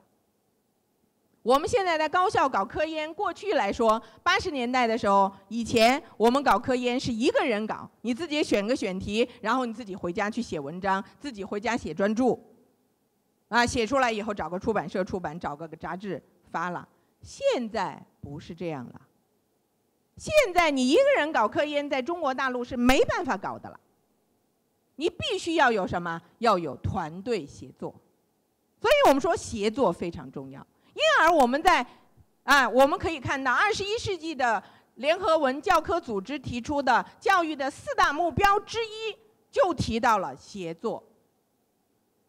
啊，学会合作是对学生培养的重要目标之一。啊，一个是学会学习，一个是学会生存，一个是学会合作，再一个呢是学会尊重，学会尊重。所以我们说协作很重要。最后一个方面呢，我们说高思维能力的人才，他需要有终身学习的能力。这个我想每个在座的同仁都理解。好，最后一个方面就是信息技术的迅速。迅猛发展引爆的知识爆炸，那么它促使学校教育和学生的学习重心必须发生转移了，因为太多了。你说你现在的这个中学语文教材，你教哪些是应该教的，哪些是不应该教的？我们现在出书的话，就我不我不知道马来西亚是什么。中国大陆一年出版的专著的话，可能不是以数以千计、数以万计。可能是属于十万计甚至百万计的这样的速度。那么你这个知识出来那么多那么快，你说哪些我是应该教的，哪些是不应该教的？哪些是应该告诉学生的，哪些是不应该告诉学生的？这个很难了。我想在座的也有教育部教育部的一些啊。这个呃呃，这个这个这个同仁，那么教育部的同仁以及出版社的一些同仁，你们可能也在考量我们现在出的这些东西，我们要发展学生的什么能力了？啊，学生的什么能力？所以我觉得高思维能力的人，可能是要具有终身学习能力的人。啊，呃呃，sorry，那么就是学校和学生的这个学习重心开始发生转移了。过去如果说是啊简单的接受知识的这个教育，现在应该是培养能力的教育了，啊培养能力的教育了。那么两一个关键词来说，应该是这样的。那么从知识学识、知识学习向能力生成转移，啊知识学习向能力生成转移，这是。啊，我们讲的必要性，啊，当然这个我做了一下调整，把后面的内容调到前面来啊。那么我们因为今天涉及到是马来西亚的华文教育，所以我也想提一提我自己的一些看法啊。呃，这个不一定准确了，因为我是第一次到马来西亚，我对马来西亚的华文教育没有那么深入的了解。我这个是在国内搜集了一些资料以后，我把它做了一些概括，不一定是准确的啊。如果不不不周到的地方，大家谅解一下啊。那么我想呢，马来西亚华文教育实施高思维教学呢，它有这样几个方面的啊这个可能性。第一呢，就是马来西亚的这个华文教育的历史是非常悠久的。我查到的资料，我不知道是不是准确的，是一八一五年就开始，华人就开始有华文教育了，是不是的？是的啊，谢谢啊。然后呢，一八一九年开始设立第一所华文学校，叫做五福书院，对吧？好，谢谢。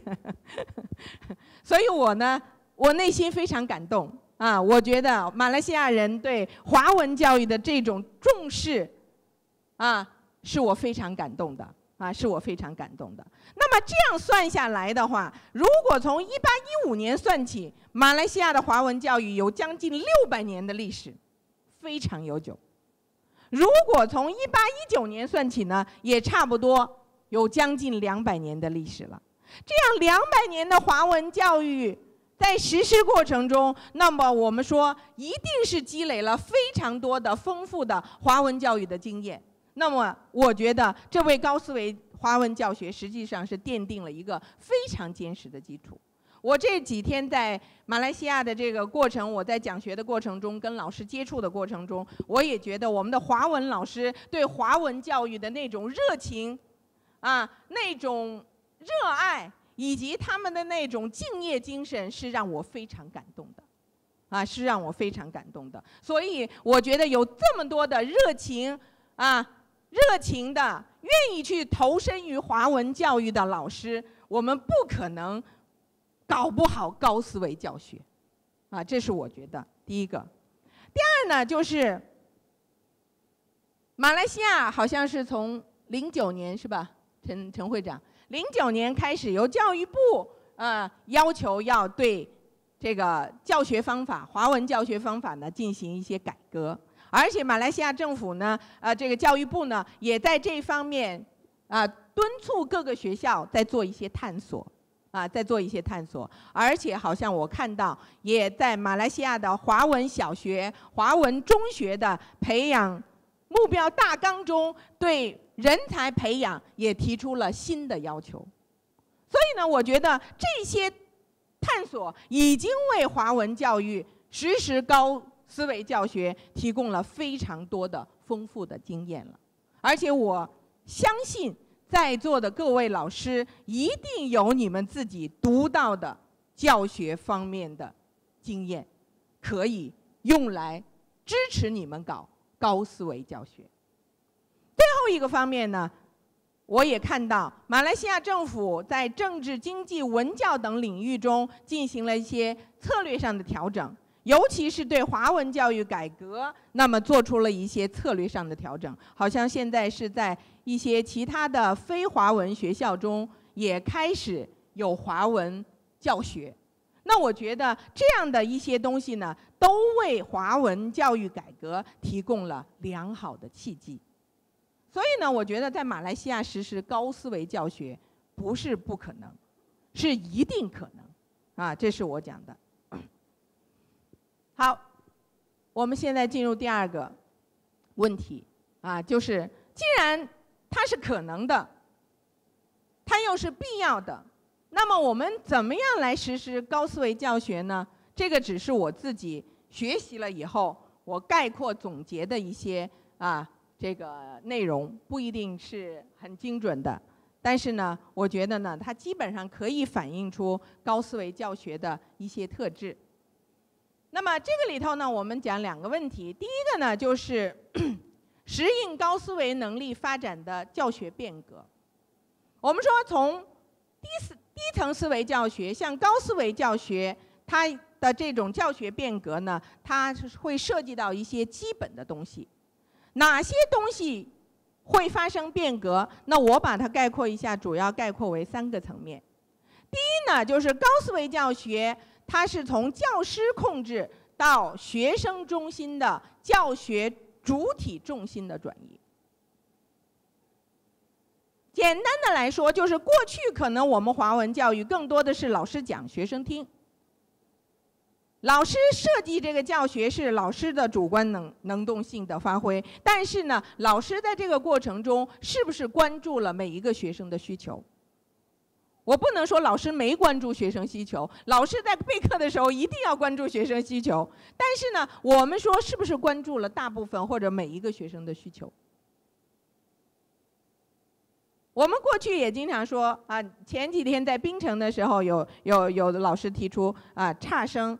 啊，后进生，啊，优秀生这样的一个概念，我们过去会把学生分成不同的层次，啊，中等呃优秀生、中等生、差生。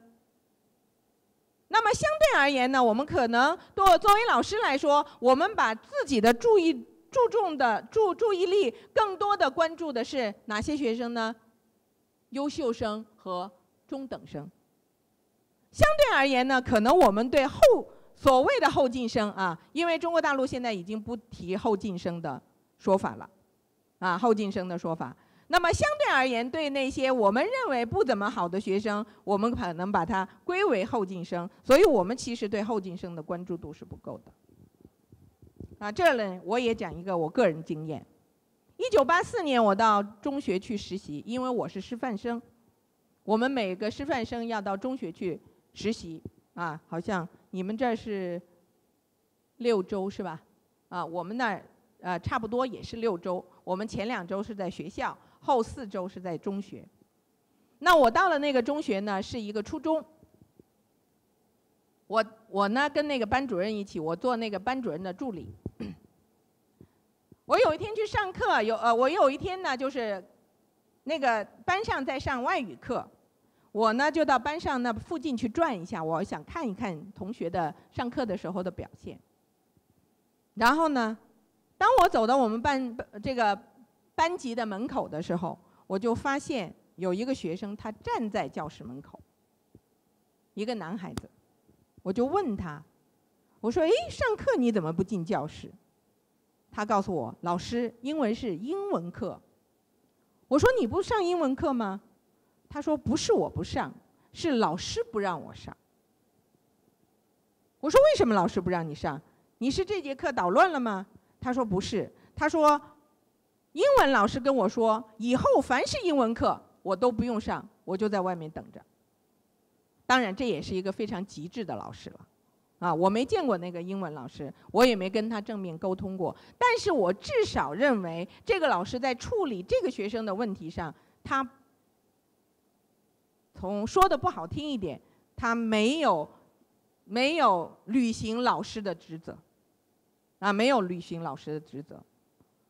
当然，我作为一个实习老师，我不可能去批评那个老师。啊，我就想了想。我说那这样子，我说那你为什么不不去玩呢？他说，现在大家都在上课，也好像没什么玩的。我说那你可以回家呀。他说还没放学。大家注意学生说的每一句话。学生他并没有把他自己完全放弃吧，他完全可以跑到校校园外面去玩游戏机吧，对吧？他没有。他站在教室外头，那么他也完全可以到校园里去玩吧，任何一个角落都可以去玩，他也没有，他就站在那个教室外头。后来我就觉得，不是，不仅仅是学生的问题了，老师一定有问题。我就把那个学生叫到我的办公室，我就问他，我说你呢？因为这个学生在班上可能是属于比较好动的学生，喜欢说话。所以呢，他的座位呢就被排在了那个最后的一排的最角落的位置。我也发现这个问题，就他上课经常坐不住，他上那么十分钟，他就开始弄旁边的同学了。后来老师没办法，就给他搞一张桌子，坐在老师的讲台旁边。没办法，所以呢，我想呢，这个学生呢，他自控能力可能差一点，我就把他叫到我办公室，我就问他。我说你是真的不愿意学习英文吗？他说我觉得英文好难背的，尤其是英文单词。那我后来就说，我说那你难是难，但是其他的同学可以学呀。那你想不想学呢？我说我现在不管你难还是不难，你想不想学呢？他说我想学。我说你想学，OK。我说你呢？从今天开始，你每天下午放学以后，你到我的这儿，你到我办公室来，我给你做英文卡片，每天做五个英文单词。我说你回去呢背诵，然后呢第二天来我检查。我第一天给了他五个，第二天他真的来了，我没想到他来，他真的来了。那么他来了就说明什么？他有学习的愿望了。然后我就不断的跟他补，我每天。放学以后他就来，每天他来，但是到了第三天，我就发现有一个妈妈急急忙忙的在校园里头转，一个接一个教室在那看，啊，然后呢最最后呢就就我就看到那个妈妈，我就问她，我说您您干嘛？你找学生吗？她说是我儿子到现在那个时候已经比较晚了。啊，他说我儿子到现在还没回家。他说我已经在我们镇上所有的游戏机厅，我已经走了一遍了，没有找到他。妈妈着急了，因为平常下放了学，他都在游戏机厅。啊，后来我说你的孩子叫什么？他就跟我说了名字。我说你不用着急，你儿子在我这儿。于是妈妈跟我走到我们办公室门口。当他妈妈看到他儿子坐在我的办公室那儿。在那学习的时候，妈妈眼泪出来了。当然，我不是说我是一个很好的老师，只是说我们作为老师来说，我们对我们的每一个学生是不是都给予了充分的关照呢？可能没有，因为我们要关照的学生太多。啊，马来西亚一个班一般是多少人？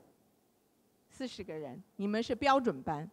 但是在中国大陆，我们教学资源紧张的时候，有的时候一个班现在好多了啊。谢校长他们一班也是四十个人。以前在这个十年以前或者二十年以前，我们一个教学班是六十个人。我上高中的时候，我们一个班是七十个人。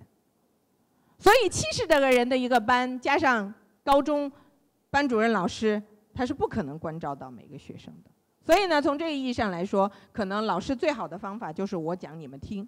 至于哪些听，哪些不听，老师也没有办法，每个同学就关照。所以呢，我们说这个转移呢，那么它就表现出这样的一些不一样的地方。传统教学呢，我们说它是以教师为中心的，而高思维教学呢，它强调以学生为中心。这个下午陈主任讲的时候，大家会看到，啊，这个谢校长呢也有反应。第二呢，就是传统教学是教师主讲控制课堂，而高思维教学呢，它鼓励学生公开的表达观点，啊，公开表达观点。我昨天下午在独立中学，我跟学生做一个讲座，我觉得学生非常好，非常善于思考，非常啊，而且他们提的问题都是很高水平的问题，所以说明什么呢？说明学生不是在被动的接受，他们是有他们自己的思考的。他们毕竟就是十五岁、十六岁吧，最大的十八岁的孩子们。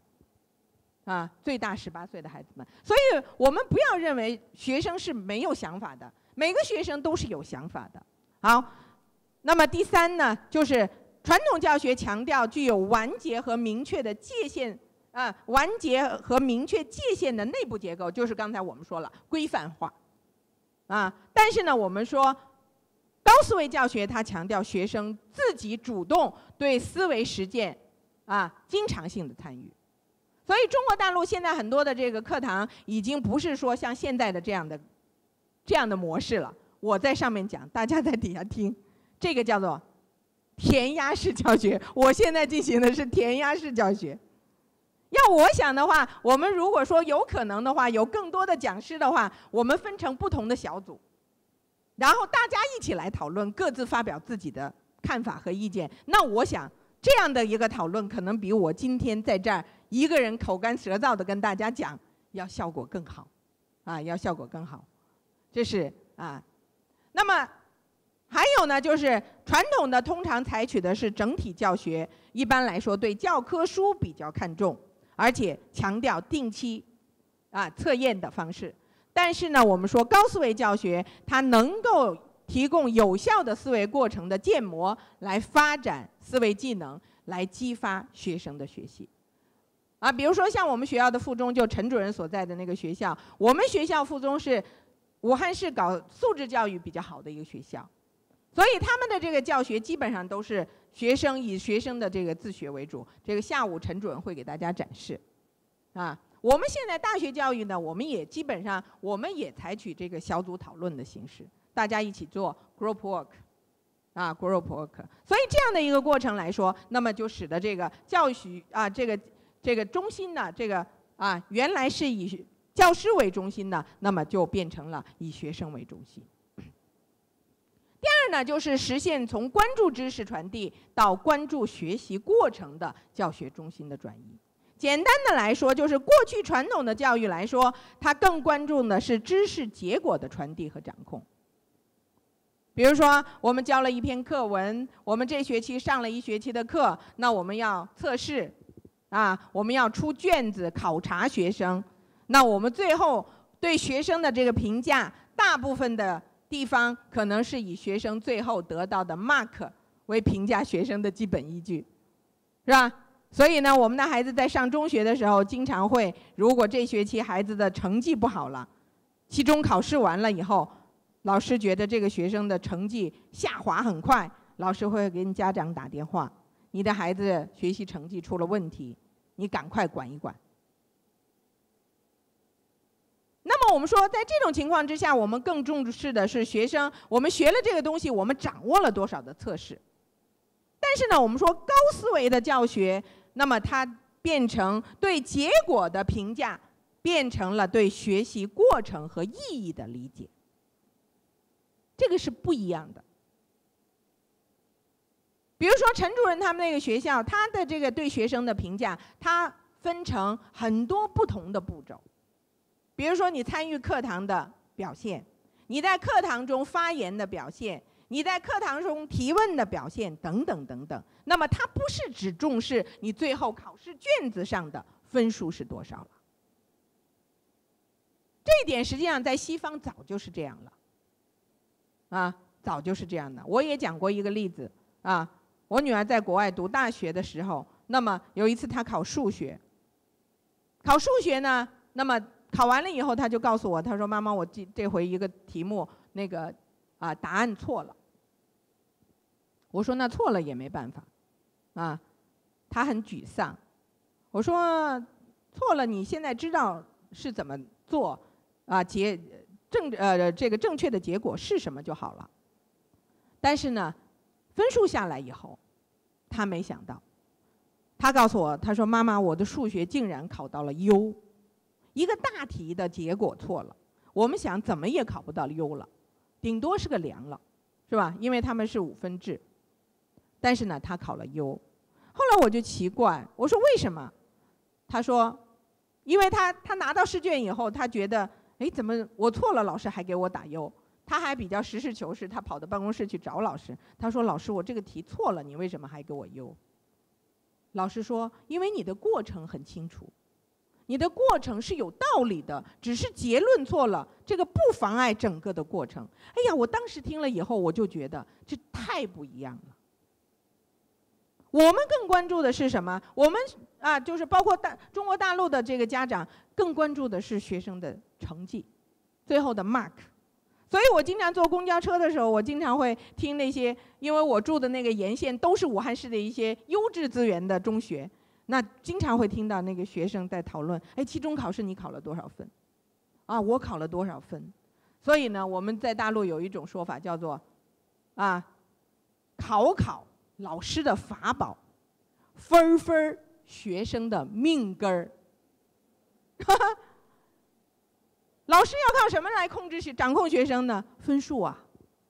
所以有的时候我们在大学有时候开玩笑，哈，说啊，这个我们以前被老师考，现在我们要好好的考考学生，这是开玩笑的话了，啊，就是说每个学生都要经历这样的考试对心理的折磨，啊，但是呢，你又不能不去考，分数又很重要，所以在这种情况之下呢，那我们学生和家长都非常关注学生的分数。我们曾经见过一个家长在路边，这个不叫批评孩子，叫训孩子。我们训大家懂吧？就是很严厉的，有点带骂的那种意思。好，妈妈说什么？你这次考试怎么只考这么点分儿？多点儿呢？我就很好奇了。我看着那个孩子拿着的那个卷子，那个孩子的卷子上写的是八十五分。我觉得八十五分不少了。然后呢，我就听那个妈妈问：“你在你们班上排第几名？”学生说：“大概是中等偏下。”啊，中等偏下。那也就是说，家长非常在意什么？我这个孩子的分数在班上的排名。啊，我不知道老师是不是这样心态，啊。老师是不是这样心态？所以从这个意义上来说，那么这种教育的模式，这种教育的理念，实际上它是不关注学习过程的。所以呢，我们经常会说啊，一个人他如果第一次的测试他只考了五十分，第二次的测试他如果通过他的努力，他在这个过程中学习非常的刻苦，非常的努力，他的成绩提高了，那么这个就是他的进步了。不是说每一个孩子都必须考到一百分或者九十分的。对吗？我那天跟这个陈会长还有几个呃这个这个这个同仁一起在聊天的时候，我也谈到，就是现代研究、现代教育学研究会发现一个现象，就是在中学教育啊或者大学教育中，前百就是从第十名到第二十名的学生，是后劲最足的学生。我不知道你们这儿有没有这样的现象，你们可以去做一个调查，对你们毕业了的学生做一个反馈的调查。我就在想，为什么？这个不是说我们随便说，因为有数据支撑的。啊，西方学者做过非常缜密的研究，那就会发现，往往在中学或者大学做尖子的学生，他进入社会以后，他的整个的那个竞争实力不是越来越强，而是什么？不如那个中等偏上的学生。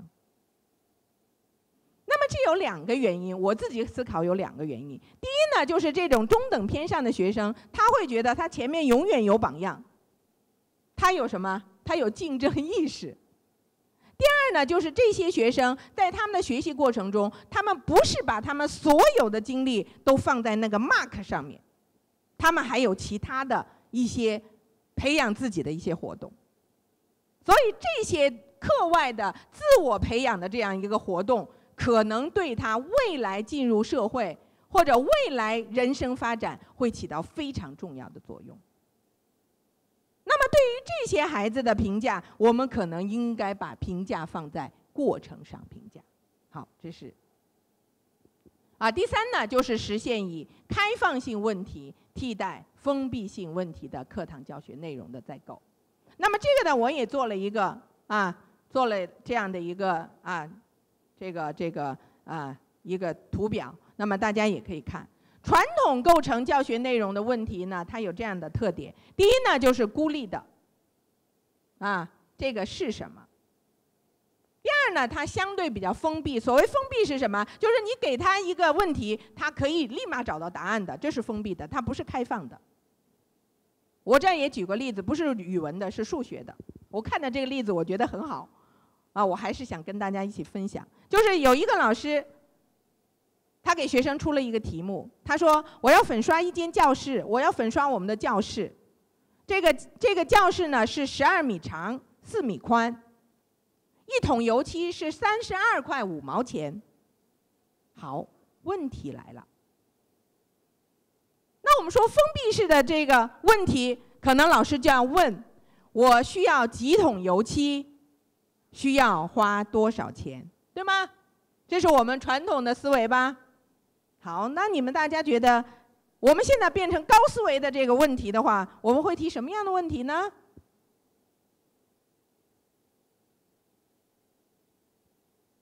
什么样的问题？好，大家在座的各位，如果成家了、买了房子的，大家都有这种体会，都有过这方面的经验。我们如果说现在就要装修我们自己的房子，我们仅仅需要考虑钱，考虑买的材料吗？我们需要花多少钱？我们需要买多少材料？仅仅如此而已吗？可能不是，对吗？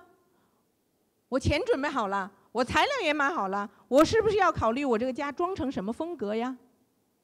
我怎么设计呀？让他让我住的温馨呢，舒服啊，符合我的审美啊，等等等等。所以呢，这个老师提的问题是什么？老师说：“老师现在要粉刷这个教室，你们每个同学给我做一个方案。”这里头就看学生的发散性思维啦。学生要考虑什么问题啊？可能大多数的学生会首先考虑我要买几桶油漆花多少钱，这是最基础的，对吗？然后可能有的学生会想到，哎，老师要粉刷教室，那就是装修教室，我们是不是要美化一下我的教室啊？还会给老师提一些相关的一些建议吧。所以这个问题就是相相对而言就是什么开放性的问题，它可以给学生无限遐想的空间，对吗？比那个我刷教室需要几桶油漆多少钱，是不是要好很多了？是要好很多了。所以我们说它是封闭的，它不如高思维的。另外呢，传统的教学问题的构成呢，它是啊结构良好的，就刚才我说的啊良好结构的，就是它你可以直接给出答案的啊。但是高思维不一样，那么除此以外呢，它就是预先准备的典型例题，啊，它它可以预先准备的，啊，学生可能也可以预测到的，啊，那么它存在的问题是什么呢？这种传统的问题呢，传统教学这个问题呢，第一呢，它忽视了与真实生活情景的联系。比如说刚才我说的那个数学题的话，那他可能学生就纯把它作为一种计算了。但是老师要做个方案的话，学生就会觉得，哎，我们现在可以来装修我们的教室了，对吗？学生就会积极的参与到这个真实的情景过程中去。所以呢，它是一种真实情景的再现。啊，包括我们这个谢校长下午要跟大家讲的。我要教学生一个注释这样一个东西，我仅仅用解释词语的方法告诉学生注释，可能不如我设定一个真实的情景让学生去体验，要来的好得多，啊，要来的好得多。这个我在这儿，啊，先卖一下关子，由下午谢校长来给大家来讲精彩的啊，来指来进行精彩的指导。好，下面一个呢，就是它局限了学生在新旧知识上的串联和重组。过去，那么我们说，那么你没有办法把旧的知识和新的知识把它结合起来。还是拿刚才那个数学题来说，那么我们说，旧的知识是什么？计算能力，对吧？但是如果说你是一个开放性的问题的话，那么还涉及到学生的什么审美？学生的其他方面的一些能力的展示，是吧？所以呢，我们说它局限了学生在新旧知识上的串联和重组。第三呢，就是这种问题呢是难以引发学生展开思维、批判和创造的思维活动的。但是开放性的问题呢，我们说这个问题是不是开放，我们可以给出一个标准，有三个。一个呢，就是能给所有学生示范一些知识、技能和理解的机会。就是我们的这个问题不仅仅是提给某一个学生的，是提给所有的学生的。而且这个所有的学生，不仅在知识层面，而且在技能和理解这个层面，他都有能够发挥他主观能动性的可能性的问题。这是一个。第二呢，就是要能够促进学生进行超出能力范围的推理和思考的问题。我原来可能只会计算，我原来只会理解中心思想、段落大意。我现在除了中心思想、段落大意以外，我还可以思考到文章背后的一些问题。举个例子，我们讲唐诗，讲李白。啊，讲李白，讲唐诗。那么，如果这个时候老师提一个问题，说李白为什么可以成为唐代著名的诗仙？这是一个问题。好，后面再加一个问题。你们觉得，如果李白他能够在科举考试中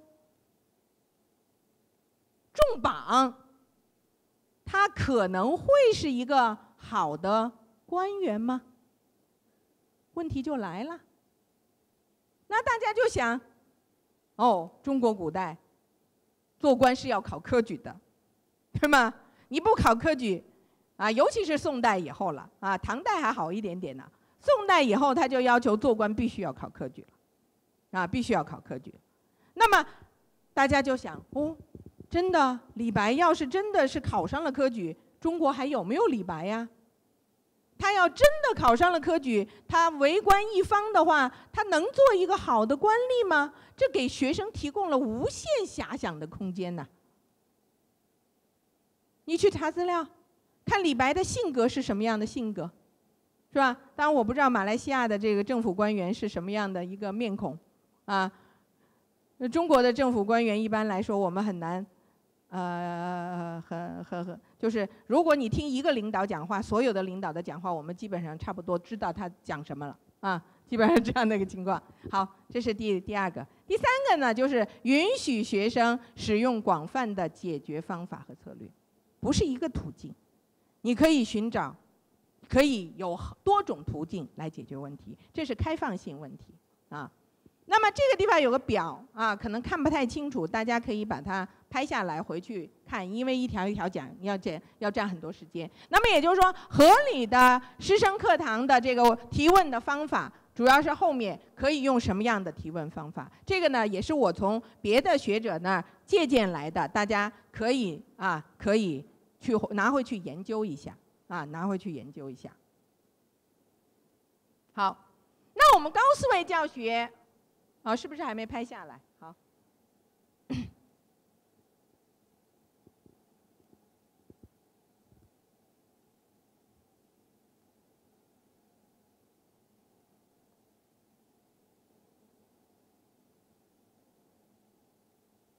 那我们说高思维教学要适应这个高思维能力培培养的这个高思维教学，对教师的能力有哪些要求呢？那我们啊。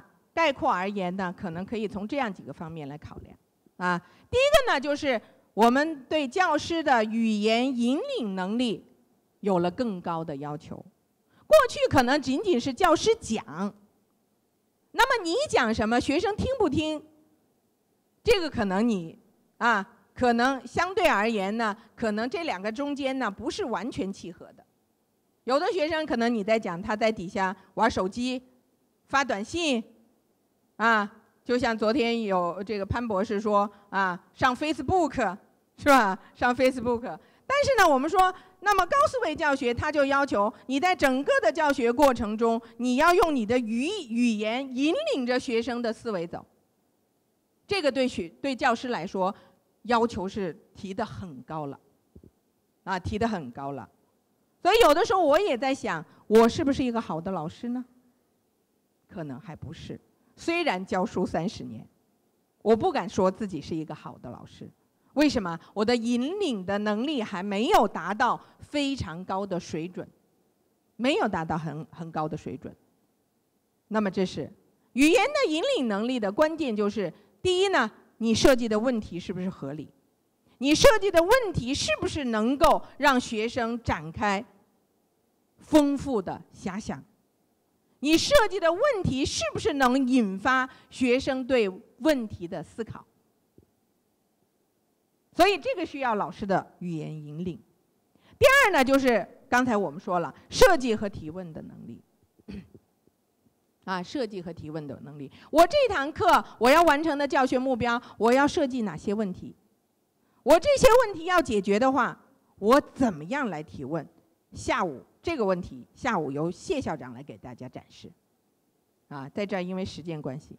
第三呢，就是耐心等待的定力。我们经常在课堂教学中可能会遇到这样的问题，我自己也遇到过。我一个问题抛出去以后，没人理我，就像刚才一样，我提了问题以后，大家都看着我微笑。啊，当然不是说大家不配合，只是说在这样一个场合中，大家觉得好像别人回答更好。是吧？更好。所以呢，我们作为老师来说，我们可能有的时候要有什么耐心，啊，要有耐心，要给学生一定的，不是充分的，是一定的思考和回答问题的这样一个时间。啊，我那天在这个教育大学是这个讲的时候，有一个同学已经毕业了的同学，他跟我提个问题，他说：“老师，我我上课第一次我就跟学生讲，我是最怕两种学生，第一种呢是没有问题的学生，第二种是问题太多的学生。”啊，他说。你刚才说了要培养耐心等待的定力的话，那如果我一个学问题提出去，谁都不理我怎么办？那这也是一个很好的问题啊！一个问题提出去以后，如果没有学生回答，这个时候你其实作为老师是可以观察的，学生会回答的时候，他是什么样的表情？其实刚才我提了问题以后，所有的老师都知道怎么回答，对吧？当他不会回答的时候，他会做什么样的表情？这个是做老师的基本功了，你要会观察了。然后在这种情况之下，那如果说全班同学这个时候都有对这个问题觉得为难的情绪情况之下，怎么办呢？换一个问题，换一个问题，把问题逐步引入到你提的这个核心问题上来。这个就是什么？引领了，啊，就是引领了，啊。那么这个呢，因为下午陈陈主任和谢校长都要讲，我就不讲了。最后一个呢，就是正面鼓励了。哦，我不知道马来西亚的老师对学生是批评多呢，还是表扬多？啊，我不知道，啊，家长也是这样。在我看来，中国的学生。一般来说，当然现在要好得多了啊！现在很多家长开始学心理学、学教育学，开始呃研究怎么样教育好自己的孩子。包括我们游游领队，我们这几天在一起，他天天跟我们研究教育孩子的问题啊。我我觉得就是说，孩子的教育，每个家长的认知是不一样的，啊，不一样的。那么有些家长呢，尤其是中国的啊，这个华华人的家家长。他对孩子的否定要多于对孩子，我不知道马来西亚是不是这样的。所以呢，可能家长认为你表现优秀是应该的，对吗？你如果表现不好的话，那是不应该的。所以呢，我们的家长当孩子取得成就的时候呢，家长顶多说一句，尤其是爸爸在家里顶多说一句：“嗯，还不错。”但是呢，当孩子出现问题的时候，或者学业有困难的时候，我们的家长经常会说：“你怎么这么笨呢？这个东西我讲了那么多遍，你还不会呀？有没有？”我不知道马来西亚的家长是不是这样啊？在中国可能会有一部分这样的家长。当然，我们也看到社会进步了，很多家长现在对孩子的态度开始发生转变了。啊，开始发生转变了，所以呢，我觉得孩子的进步，包括我们每个个体来说，我们都是希望能够得到。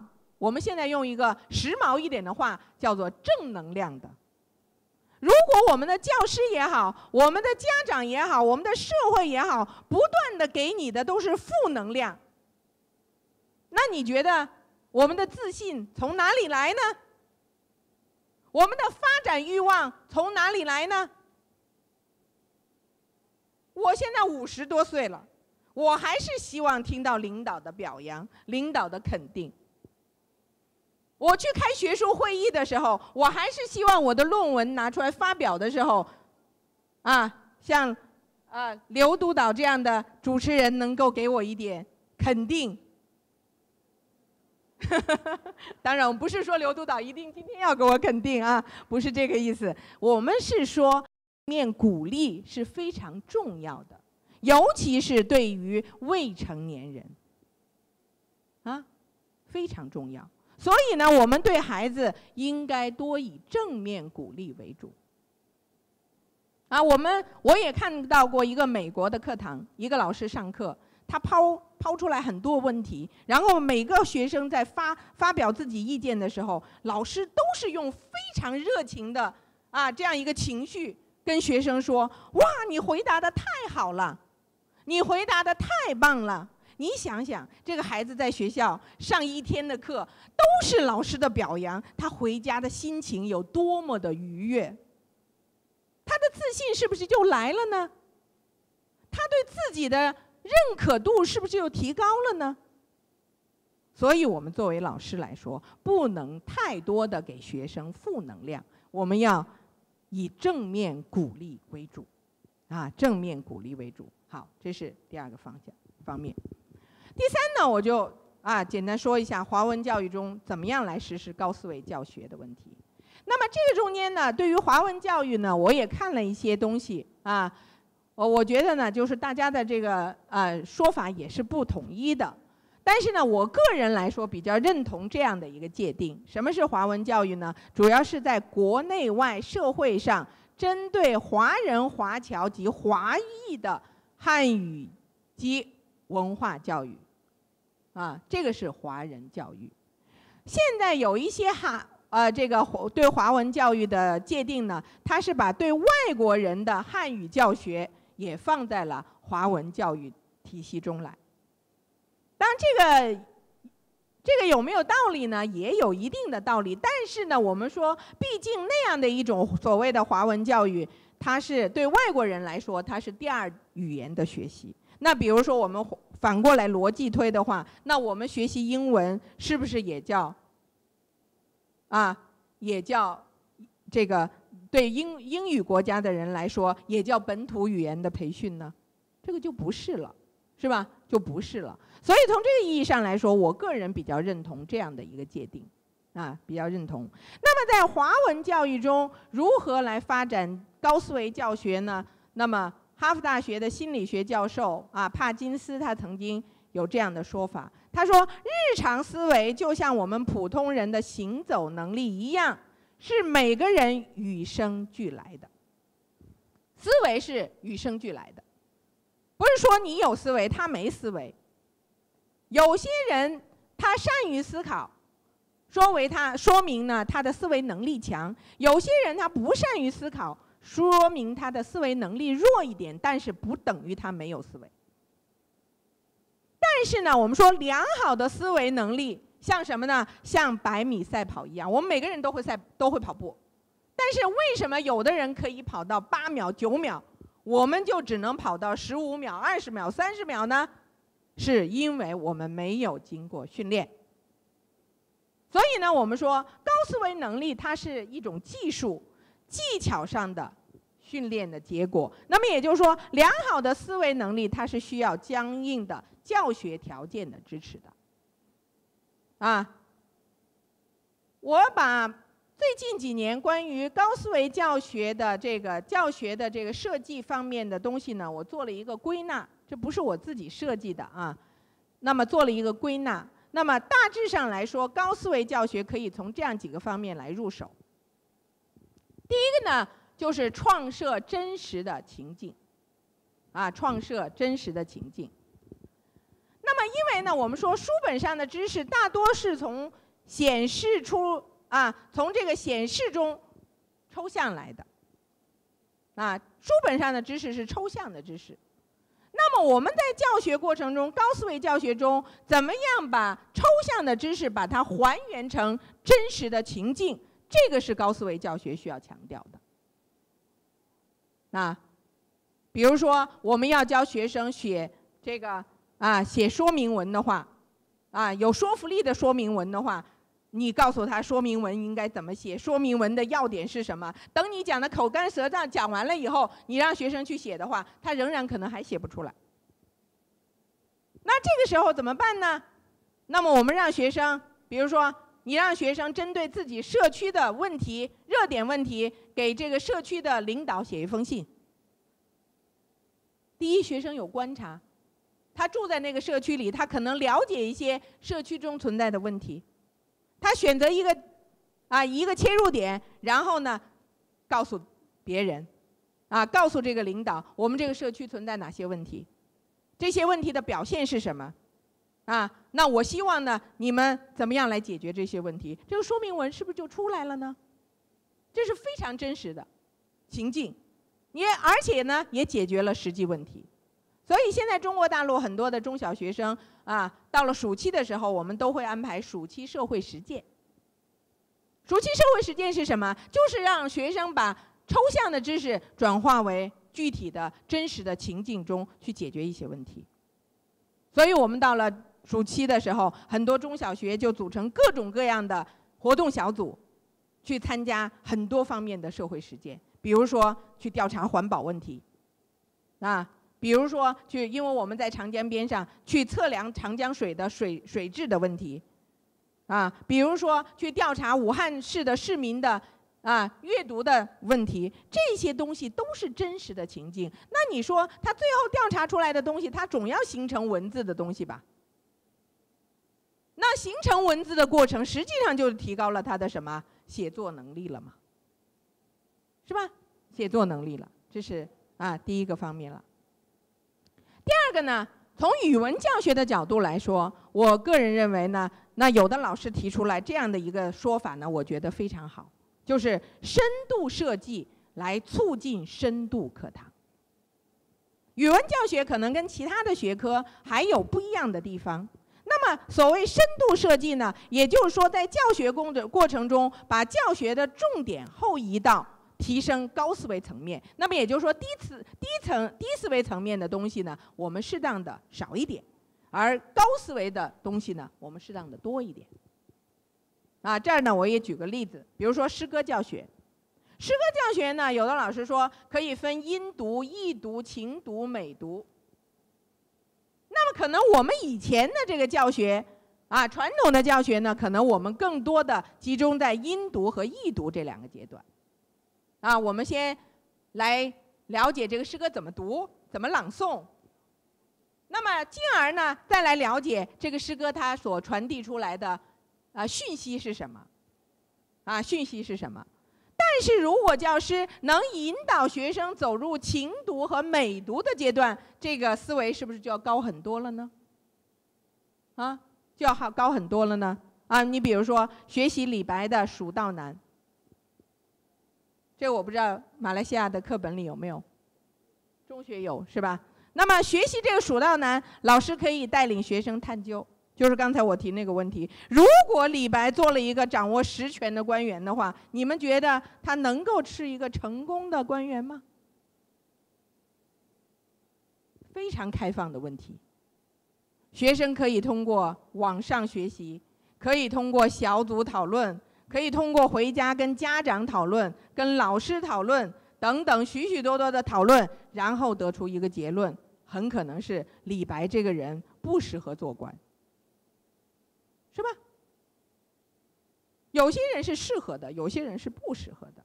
当然，也有可能认为他可能是一个好官，啊，所以这个结论可能不是一样的。但是呢，你不管他他认为他可以做一个好官，还是不可以做一个好官，你都要提出你的证据来呀。这个就是高思维的了，啊，就是高思维的了。好，那么除了深度设计以外呢，那么深度课堂。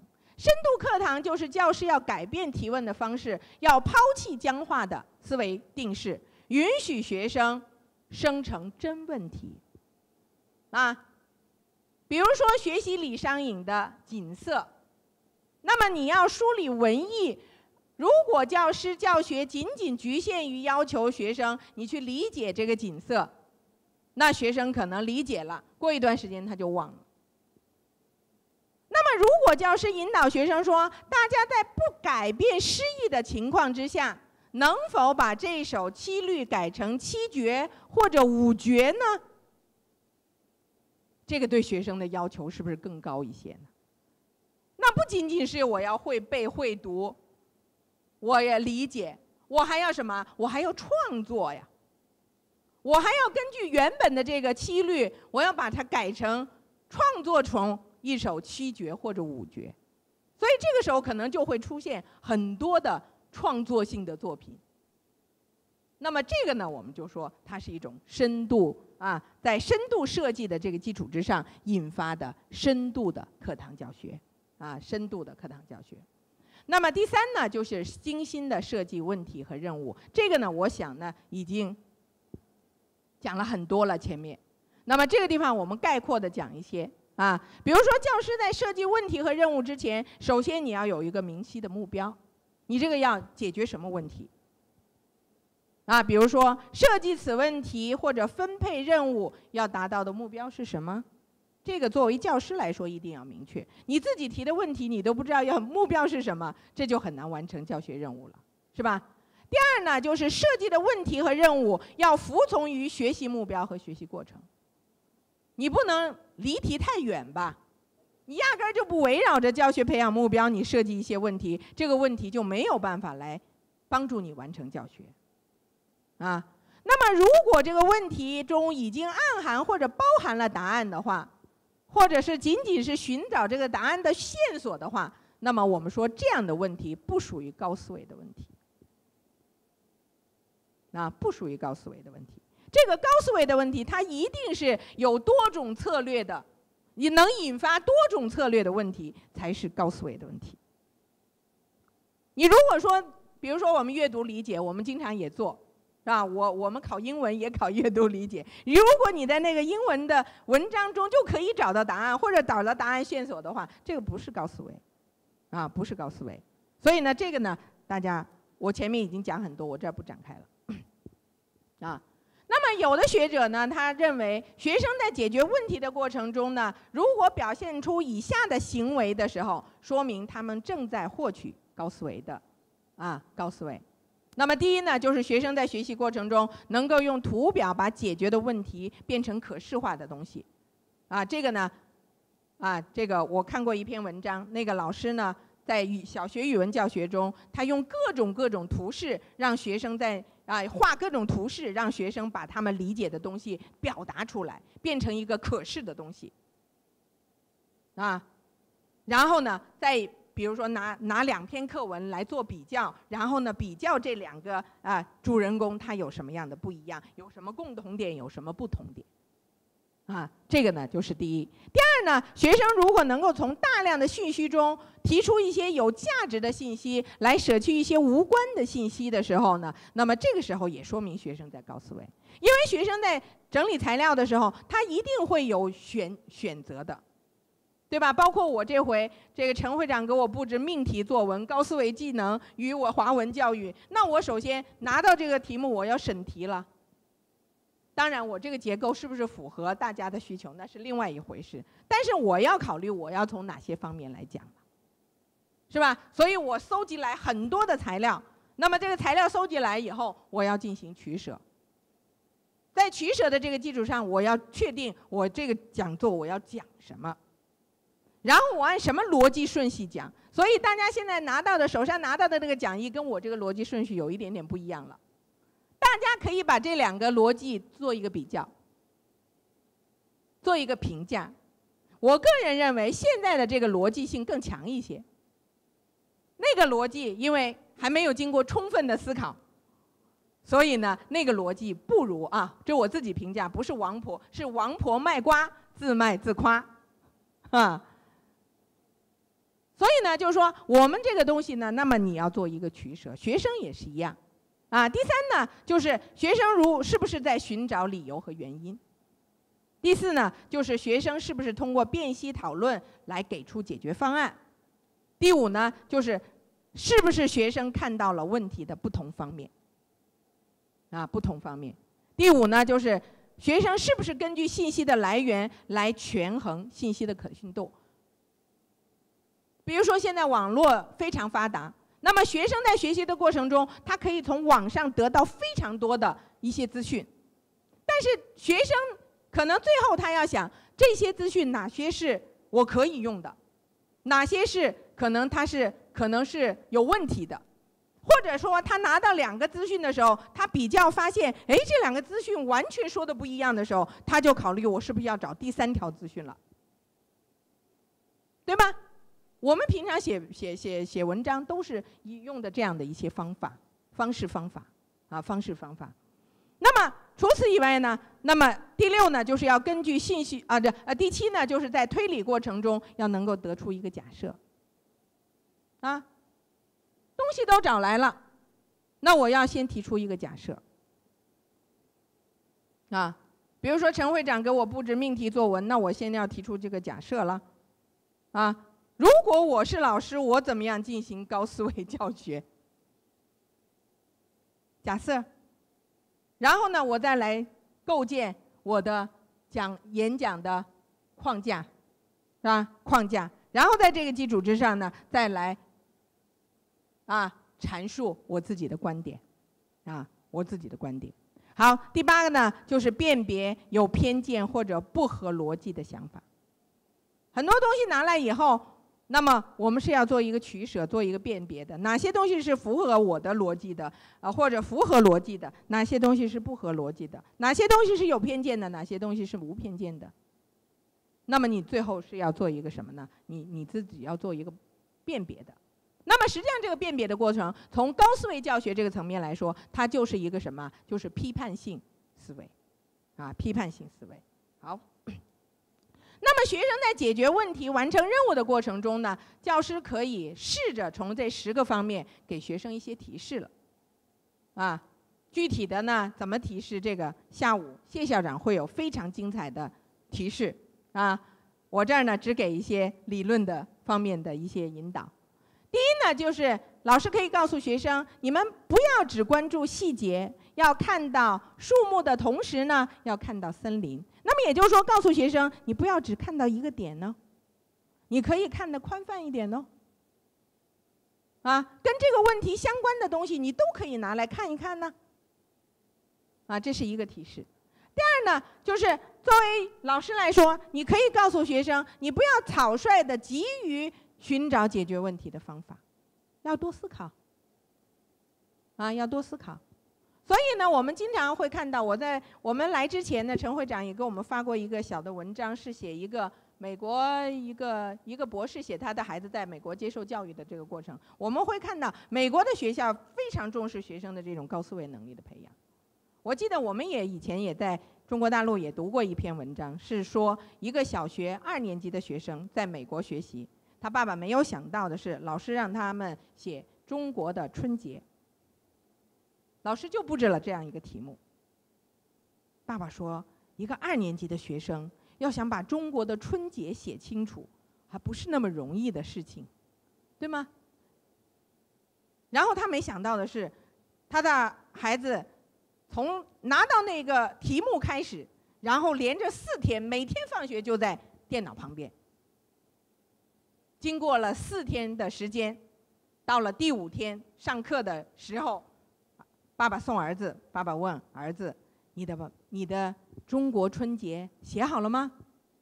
儿子自信满满的说：“写好了。”爸爸说：“能让我看一下吗？”儿子很自信的把自己写好的东西递给爸爸。爸爸没想到，小学二年级的学生写了十页纸，关于中国春节。我们很难想象，是吧？我们可能教师首先觉得。你要让他把中国春节写清楚，不是容易的事情。第二呢，就是小学生对春节的理解，可能跟我们所理解的春节还不完全一样。但是他爸爸没有想到的是，他用十页纸写了一篇关于中国的春节。那这个就是高思维了，是吧？高思维了。好，那么再就是呢，教师也可以说啊，以退为进，也许是个好的办法哦。你们不要急于得出结论，有的时候我们经常说，华人经常会讲的“退一步海阔天空”吗？退一步看得更远呢，是吧？看得更远呢，所以老师可以做这样的提示。然后呢，在这个基础上，其实这个我们在日常生活中，尤其是我们在学校搞科研的时候，尤其是有的时候钻到死胡同里，你出不来了，那你出不来的时候怎么办呢？退呀。我回到原点总可以吧？我回到原点，我再来看有些问题，哦，你看的就清楚很多了，啊，就清楚很多。你要在那个死胡同里紧钻着，你钻不出来的，最后只有什么死路一条啊，是吧？死路一条。所以这个啊，第四呢，就是老师也可以说用图表或者符号或者公式，你可以先做一个模型。啊，先做一个模型，不是说语文教学不能做模型的。啊，我那天看了一篇文章，就是啊，这个高思维教学中的小学语文教学，其实那个老师用了很多的模型。啊，比如说 X 的模型，啊，这个图画工具呃不呃工具图画式的模型，他就是把小学的这个语文教学用很多图式的东西啊，把它表达出来。啊，表达出来，这个是可以的。啊，大家不要认为只有理科的东西、数学的东西、物理的东西才可以用这些，不是的，啊，不是的。然后呢，再就是老师可以说，运用类比，这样这让我们想到了什么呢？啊，想到了什么？再就是可以试着用非传统的或新的方法来使用已有的工具。大家都那么想，你换一种思的思维呀。我们经常在指导学生写论文的时候会遇到这样的问题。我的一个研究生，他对语文教学非常感兴趣，他原来也是小学语小学语文老师。他最后选论文题的时候，他就坚持要选他那个题目。我说：“你这个题目人家已经写完了，两篇博士论文，四篇硕士论文，你还有什么可写的呢？”他跟我说：“老师，我就是想写这个文这个论文。”我说：“那怎么办呢？”我说只有一个办法，换一种思维方式，换一个切入点。你找材料，能找的材料，因为我们学历史的都要找材料了，能找的材料能支撑你的观点，你论文 OK。你找不到材料，你支撑不了你的观点，你的论文不行。学生非常刻苦，啊，非常刻苦，回去找材料，啊，非常非常努力，最后他真的写出来了，这是我没想到的。我本来想的，他写了一半就得来找我，老师换个题目吧，结果他没有，啊，所以呢，从这个意义上来说，那么我们有的时候换一种，啊，换一种，不要用那种传统的视角。比如说，我刚才跟他提的就是传统的。我认为两篇博士论文、四篇硕士论文已经没有什么可写的了。但是学生他能创新呢？哎，论文写出来还不错呀，虽然改了十稿，啊，改了十稿。那么另外呢，就是什么呢？老师可以说，你大胆的讨论问题，直到找到一些办法。讨论呢，小组讨论呢，如果大家都没有非常明确的想法，我们接着讨论。啊，接着讨论，直至把问题啊办法找到，然后呢，还就是随时记录已经产生的部分方案，然后方便方便回到断开的地方继续。就是说，你可以让提示学生，你把你所有的做过的工工作都做一个记录，啊，陈主任会讲到这一点，都做一个记录。那么在这个记录的过程中，你会。回过头来再来看的话，你会发现，哎，我什么地方有断开的地方？那我到时候再回到那个地方了，是吧？再回到那个地方了。那么再就是将问题分解成小的部分，将一个大的问题我们分解。我一下子解决不了，我把它分成若干个小的部分。这个是后面我们要提到的支架啊脚手架理论，啊脚手架理论。最后呢，就是尽量的简化所有的工作。把所有的东西都完成了以后呢，那么我们现在资料也有了，方法也有了，我们现在要做的工作是什么？把这一大堆的资料把它简化成我能够做出来的东西，是吧？我现在回忆，我在完成陈陈会长交给我的任务的时候，我采取的就是高思维方法了，是吧？最后才有了这样一个逻辑的，啊，这样一个讲述的这样一个啊啊这样一个演讲稿。啊，所以一直到昨天晚上两点钟之前，我都还在做我的这个演讲稿的修正。啊，这个陈会长听了我所有的演讲，那么陈会长也会听到今天的讲的内容跟昨天、跟前天有不一样的地方了。啊，所以我们说学习的过程是一个不断完善的过程，啊，不断完善的过程。好。那么第第四个呢，就是发展高思维教学能力的华文教学呢，那么还可以从创设技术丰富的学习环境入手。我们说现代社会已经进入了知识爆炸的时代啊，那么创设技术丰富的学习环境呢，也就是要为学生提供能够利用的网络搜索引擎、教育软件、网络社区等信息技术来作为认知工具。所以呢，David 呢，美国的一个啊这个教育家，他认为，他说在技术丰富的学习环境中，学习者的高思维能力的发发展表现在这样的一些方面。第一呢，就是学习者主动构建知识，而不是被动的获取知识。我们会发现，现在的中国大陆的小学生，他主动构建知识的这样一个主动性是在不断的提高的。所以你现在有的时候听小学生讲话。很有水准呐，不是孩子讲的话。啊，我我记得我女儿两岁的时候，有一次我不知道跟她发生什么冲突，然后她有一天跟我讲一句话，我觉得非常惊讶。他说：“你们大人总是要求孩子理解大人，为什么大人就不能反过来理解一下孩子呢？”哎，我就觉得两岁呀，他怎么能想到这样的问题？啊，所以呢，我有的时候孩子的这种创造力是我们没有办法想象的，是没有办法想象的，真的是。其实每个人都是在主动构建自己自己的知识的。有的时候关键在于我们做教师的怎么引领，我们是引领着他们越来越主动的去构建知识呢，还是引领他们被动的去接受知识？这个是非常重要的。所以我觉得我们当代教师的任务，我们的主要任务就是引领，不仅仅是传授，啊，不仅仅是传授。第二呢，就是先进的信息搜集工具能够让学习者专注于啊，专注于这个测试呃测设这个呃测试假设啊测试，对不起那个打错了，能够呢解决问题啊，就是我们现在呢资讯发达啊发达到我们可以任何用运用网络，似乎可以解决任何的问题。但是呢，这个东西呢，可以让学习者那么通过自己在网络上的这个学习，能够提出一些，能够测试自己的假设是不是能够成立，对吧？比如说我提出一个想法，我突然有一个新的想法，那我首先呢，网上去先去搜一下，是吧？搜一下，然后搜一搜有关这个问题现在有些什么东西了，然后搜到的这些东西，我把它集中起来。我再再来看这他们分别讲的是什么。我们选这个，你比如说我们做科研，我们选科研论文题的话，我们一般来说采取的方法都是这样的。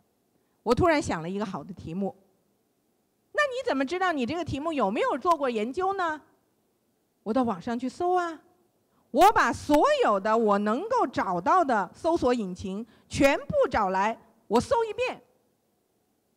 搜完了以后，然后呢，我对所有的跟这个相关的研究，我把它集中起来做一个评述。所以我们做科研，你要申报科研项目的话，一定是要有一个叫做学术前史。学术前史是做什么呢？就是告诉别人，现在这个题目已经就是跟这个题目相关的，已经有了哪些的研究，别人是怎么做的，做到什么程度了。然后同时，你要告诉别人，你这个选题和别人的研究有什么不一样？你做的价值在哪里？然后呢，你通过什么方式来完成你的研究？我们如果培养出来的学生都具备这样的能力的话，那学生水准很高啊，是吧？很高啊。所以我们说高思维教学实际上是在培养一个学生的综合能力的水准的提高。啊，综合能力的水准的提高。第三呢，就是学习者能方便的进行小组学习和协作学习，这是陈主任下午重点要讲的，啊，不是单打独斗的。我们现在的社会需要团队精神，需要团队学习、团队合作、团队研究。包括在座的各位老师，你们要想在教学中有所啊有所进步的话。你们一定要有自己的团队，没有团队可能进步不能说没有进步，可能进步起来慢一点。比如说这次我们四位一起出来，我听谢校长讲课，我听陈主任讲课，我收获非常大，非常大。那我就想，以后我在自己的这个教学中遇到什么问题，我是不是可以去请教一下陈主任？我是不是可以去请教一下谢校长？我甚至在想，我们实在不行，我们三个合起来搞一个关于高思维教学的科研项目，申报一下，也不是没有可能，是吧？也不是没有可能。所以从这个意义上来说，那么我们说团队意识非常重要，啊，团队。第四呢，就是复杂多样的评价系统可以对学习者的高思维能力进行啊这个评价。我们所谓复杂多样的评价系统，就是我们不能只用一个标准来评价学生。啊，中国大陆呢，就是说我们搞这个应试教育搞很多年，啊，现在我们的高考制度也在进行改革。那么之所以进行改革，就是评价标准太单一。啊，高考的时候呢，学生呢更多的是标准答案，那么你要。跟这个标准答案不一样的话呢，可能你的分数就拿不到，你考大学就有问题。所以过去的我们的教学呢，我们的考高考呢，更多的关注的是学生的标准答案的完成情况。但是这几年，尤其是文科综合和理科综合，包括语文教学，我们会发现，那我们考试的评价标准开始发生变化了，明显的变化。客观题也有。但是呢，主观题的分量越来越多，啊，越来越多。所以从这个意义上来说呢，那我们说这个中国大陆的这个教育，实际上它也是想在围绕学生高思维能力的培养这个层面呢，做出一些相应的调整，啊，调整。好，那么最后一个问题呢，我简单说一下，就是华文教育要实施高思维教学需要注意的一些问题，啊，一些问题。那么高思维教学呢，我们说第一个问题就是大家要明确说，老师你在这儿讲了半天都讲高思维，低层思维是不是不要了呢？不是。高思维教学一定要以低层思维教学为基础，离开基层思维教学，高思维教学是空中楼阁。你比如说，需要学生掌握的一些基本的知识，你必须给学生啊，对吧？字、词、句、读音、书写这样的一些基本技能，你不给学生，学生怎么进行高思维呢？对吧？所以呢，高思维的教学，老师们一定一定不要理解偏差了。高思维教学和低思低层次教学思维教学，它不是对立的，它是统一的，它是一条链条中的不同层次的教学，不能把它割裂开来啊！不能把它割裂开来。这儿呢，我们以一个例子为为为为为例来说明一下。有一个老师呢，跟同学讲了一个寓言故事。那么老师讲这个寓言故事的目的呢，是让学生要啊，要通过讨论呢，了解发现的重要性。这个寓言故事呢是这样讲，他说甲、乙、丙、丁四个人外出野游，甲发现了一只野鸭，乙呢立立即呢就举枪射下了野鸭，丙呢就飞快的把野鸭捡回去了，丁呢就主动的把野鸭收拾干净，做成了美味。好，那么美味做好了，四个人共享了一餐丰富的晚餐。老师的问题来了：若要中奖贡献贡献最大的人，老师问应该中奖谁？啊，理由是什么呢？啊，理由是什么呢？好，学生讨论，有的说应该中奖丁，有的说应该中奖丙。有的说应该中奖乙，但是没有人提到应该中奖甲。嗯，老师说，啊，这个跟老师教学目标有一点差异了，是吧？有一点差异。于是乎呢，老师又要学生啊讨论。课堂上，老师说，关于鸭子的故事的讨论，大家的意见都统一了吗？还有没有别的看法？所以这个时候，有的同学说。应该中奖乙，理由是什么呢？如果没有他那一枪的话，鸭子怎么也掉不下来。所以说他的工作起到了决定性的作用。鸭子跑了，大家吃不到了，是吧？但是呢，坚持奖励给丁的同学呢，马上反驳。于是呢，争论又开始非常激烈，啊，激烈，观点呢就开始分化。好，这个时候呢，有位同学就开始说。大家又下去啊！这个老师就给同学布置任务了。老师说：“你们下去找一下，诺贝尔奖是奖给什么人的？”老师没有直接说甲是最重要的，对吗？老师说：“大家下去到网络上去找，诺贝尔奖是奖给什么人的？”于是同学下去到网网上找很多资料，然后知道诺贝尔奖是奖给那个。发现新的知识的人的，所以这个时候呢，那么有同学说应该感谢甲的眼，啊，感谢乙的手，感谢丙的脚，感谢丁的心，啊，这是，啊，这是第三轮讨论啊，第三轮讨论，好，那么通过啊，这这个环节是在这儿啊，通过后面呢。老师刚才给同学布置的任务以后呢，那么最后呢，讨论四到这个阶段了以后呢，那么很多同学的观念开始发生一些变化了，啊，就是开始赞成中奖甲的同学就多了，啊，多了。大家觉得，那么这个寓言写完了，呃，学完了以后，那么老师让学生下去写自己的感受的时候，是不是会有很多很多的收获呢？啊，这是我们说高思维教学离不开低思维教学。我举这个简单的例子啊。那么第二呢，就是第二个呢，就是教师呢在教学问题的设计的时候呢，那么教师高思维教学教师教学问题的设计应该是高思维教学的核心和啊关键啊。这个地方呢，我也举个例子啊，比如说教这个唐诗，有一个老师呢，他对他的教学案问题呢是进行了三个不同类别的设计。他把它分成了三类，第一类呢就是内容问题，这个呢就是有关学科知识的，我们可以叫它低层次思维的教学，啊，就是李白的代表作是什么？这个是可以直接找到答案的，对吧？杜甫的代表作是什么？唐朝的著名诗人还有哪一些？这是我们叫做内容问题。然后在第二轮的问题设计中呢，老师设计单元问题。好，比较单元问题和。内容问题有什么不一样了呢？那么这个时候就开始以单元问题为背景来设计一些开放性的问题了。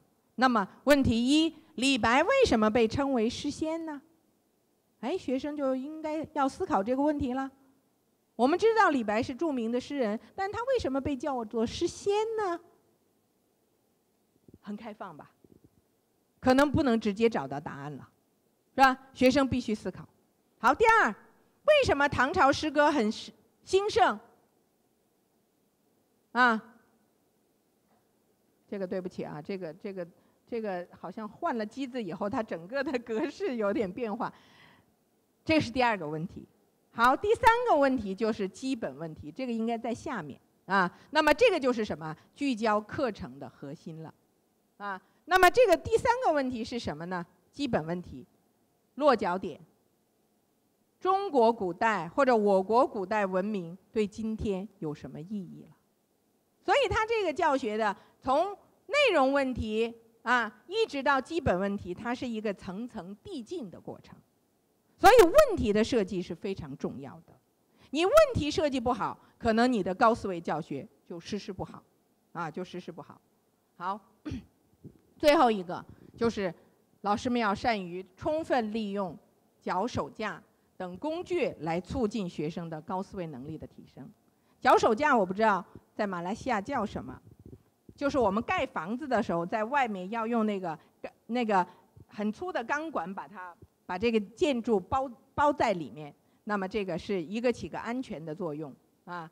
那么大家可以看到那个脚手架，它是一层一层的往上递进的，是吧？所以呢，脚手架的概念呢是源于支架式教学的策略，啊。这种教学策略呢，是源于苏前苏联的心理学家维果斯基的最临近发展区理论。这个大家下去可以找，网上很多这样的东西，我这儿就不展开讲了。那么，这个搭建起来的这个脚手架，主要要关注的环节有一些啊。我们说脚手架教学有哪些环节构成呢？大致上有这样几个。第一个呢，就是搭建脚手架。啊，所谓搭建脚手架呢，就是围绕当前的学习主题，按照最临近发展区的要求来建立一个概念性的框架。啊，这个是很重要的。你这个概念性的框架如果建立不起来，你后面的就很难。所以呢，这个是基础。第二个呢，就是进入情景。啊，情景。那么情景进入情景就是什么？让学生引入一定的问题情景。所以呢，就是说，在这个基础的这个基础之上，围绕学习主题，那么建立框架的这个概念的这个基础之上呢，那么要用一定的问题把学生引入到一定的情景中去，啊，引入到一定的情景中去。比如说刚才我们那个数学题，大家再回过头来想，它是不是这样的？好，第三就是独立探索了。那么这个独立探索不是老师去独立探索，而是需要学生去独立探索。啊，让学生去独立探索，那么这个是第三个方面啊，就是让学生确定与给定概念有关的各种属性，然后将各种属性按它的重要性、大小顺序来进行排列，然后老师引导学生进行探索。啊，这是第三个方面。第四个方面呢，就是协作学习。啊，这个前面我已经讲了，我这不展开，不展开了。最后一个呢，就是效果评价。效果评价这块呢，我们说从这个评价的内内容上来说呢，那么可以包括三个层面。一个呢，就是学生自主学习的能力如何；第二呢，就是对小组协协作学习，那么你在你这个过程中做出了什么样的贡献；第三呢，是否完成对所学知识的意义的构建。啊，有的时候我在我的课堂上也进行小组啊学习。那有的时候我期末考试的时候，我给学生的考试呢，我是让学生自己去做一个调研报告。那有的时候呢，就是一个小组、一个班上可能被分成若干小组。那有的同学就跑来找我说：“老师，我们这个小组中，有的同学做的工作多，有的同同学做的工作少。你要给分分数的话，你给的分数都是一样的，这不公平。”我也知道不公平。我刚开始采取的方式是，我说：“那这样，你们每个人给你们小组的人。”除了自己以外，你们给小组的人各自打一个分数。同学说不好打，老师，打的低了人家不高兴，打的高了我也不甘心。我想了想，也是这个问题。我说那还有一种办法，你们在你们的报告最后一页给我附一页，你们每个同学在小组工作中做了些什么事情，这个好写，对吧？我做了 PPT，我搜集了一些资料，什么资料，是吧？然后呢，我去做了调查，我去做了问卷，我问了几个，我我找了几个人问，我发了几百份问卷，然后我收回几百份问卷，这个是可以写的了，这是实事求是的了。那么在这个过程中，你就可以根据这些东西给小组，不是说一个小组大家都得一样的分数，对吗？你可以给小组同学不同的积分吧，评价不一样了吗？是吧？不一样了。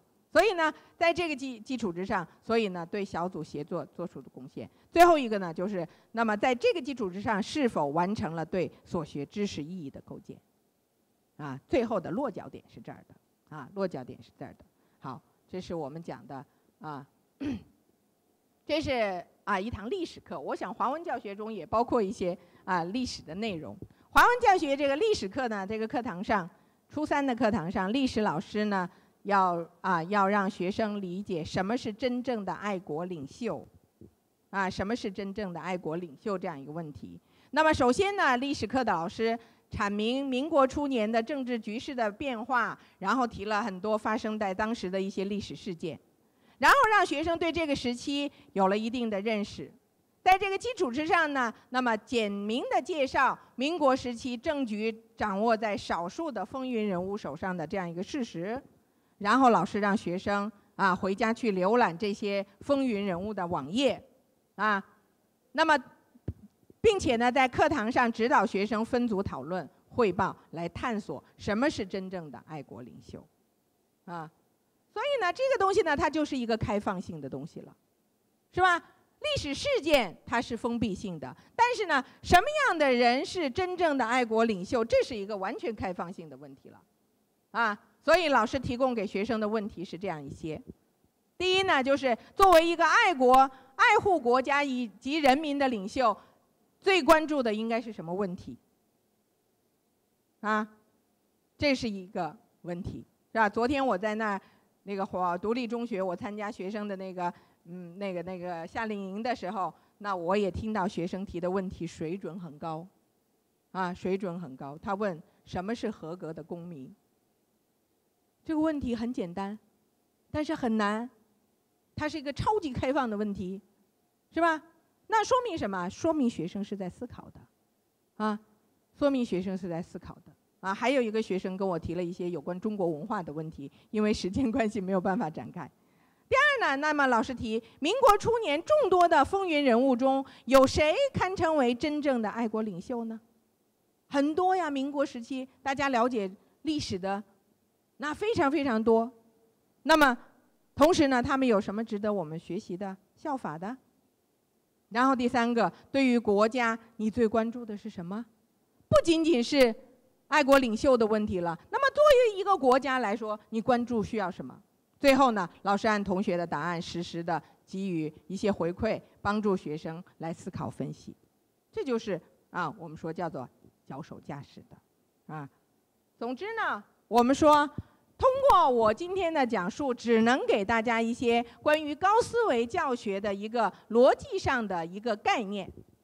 至于什么是高思维教学，我个人认为它是需要一个长时期的努力和探索，才能形成为一个真正的可以实施的一个教学方法。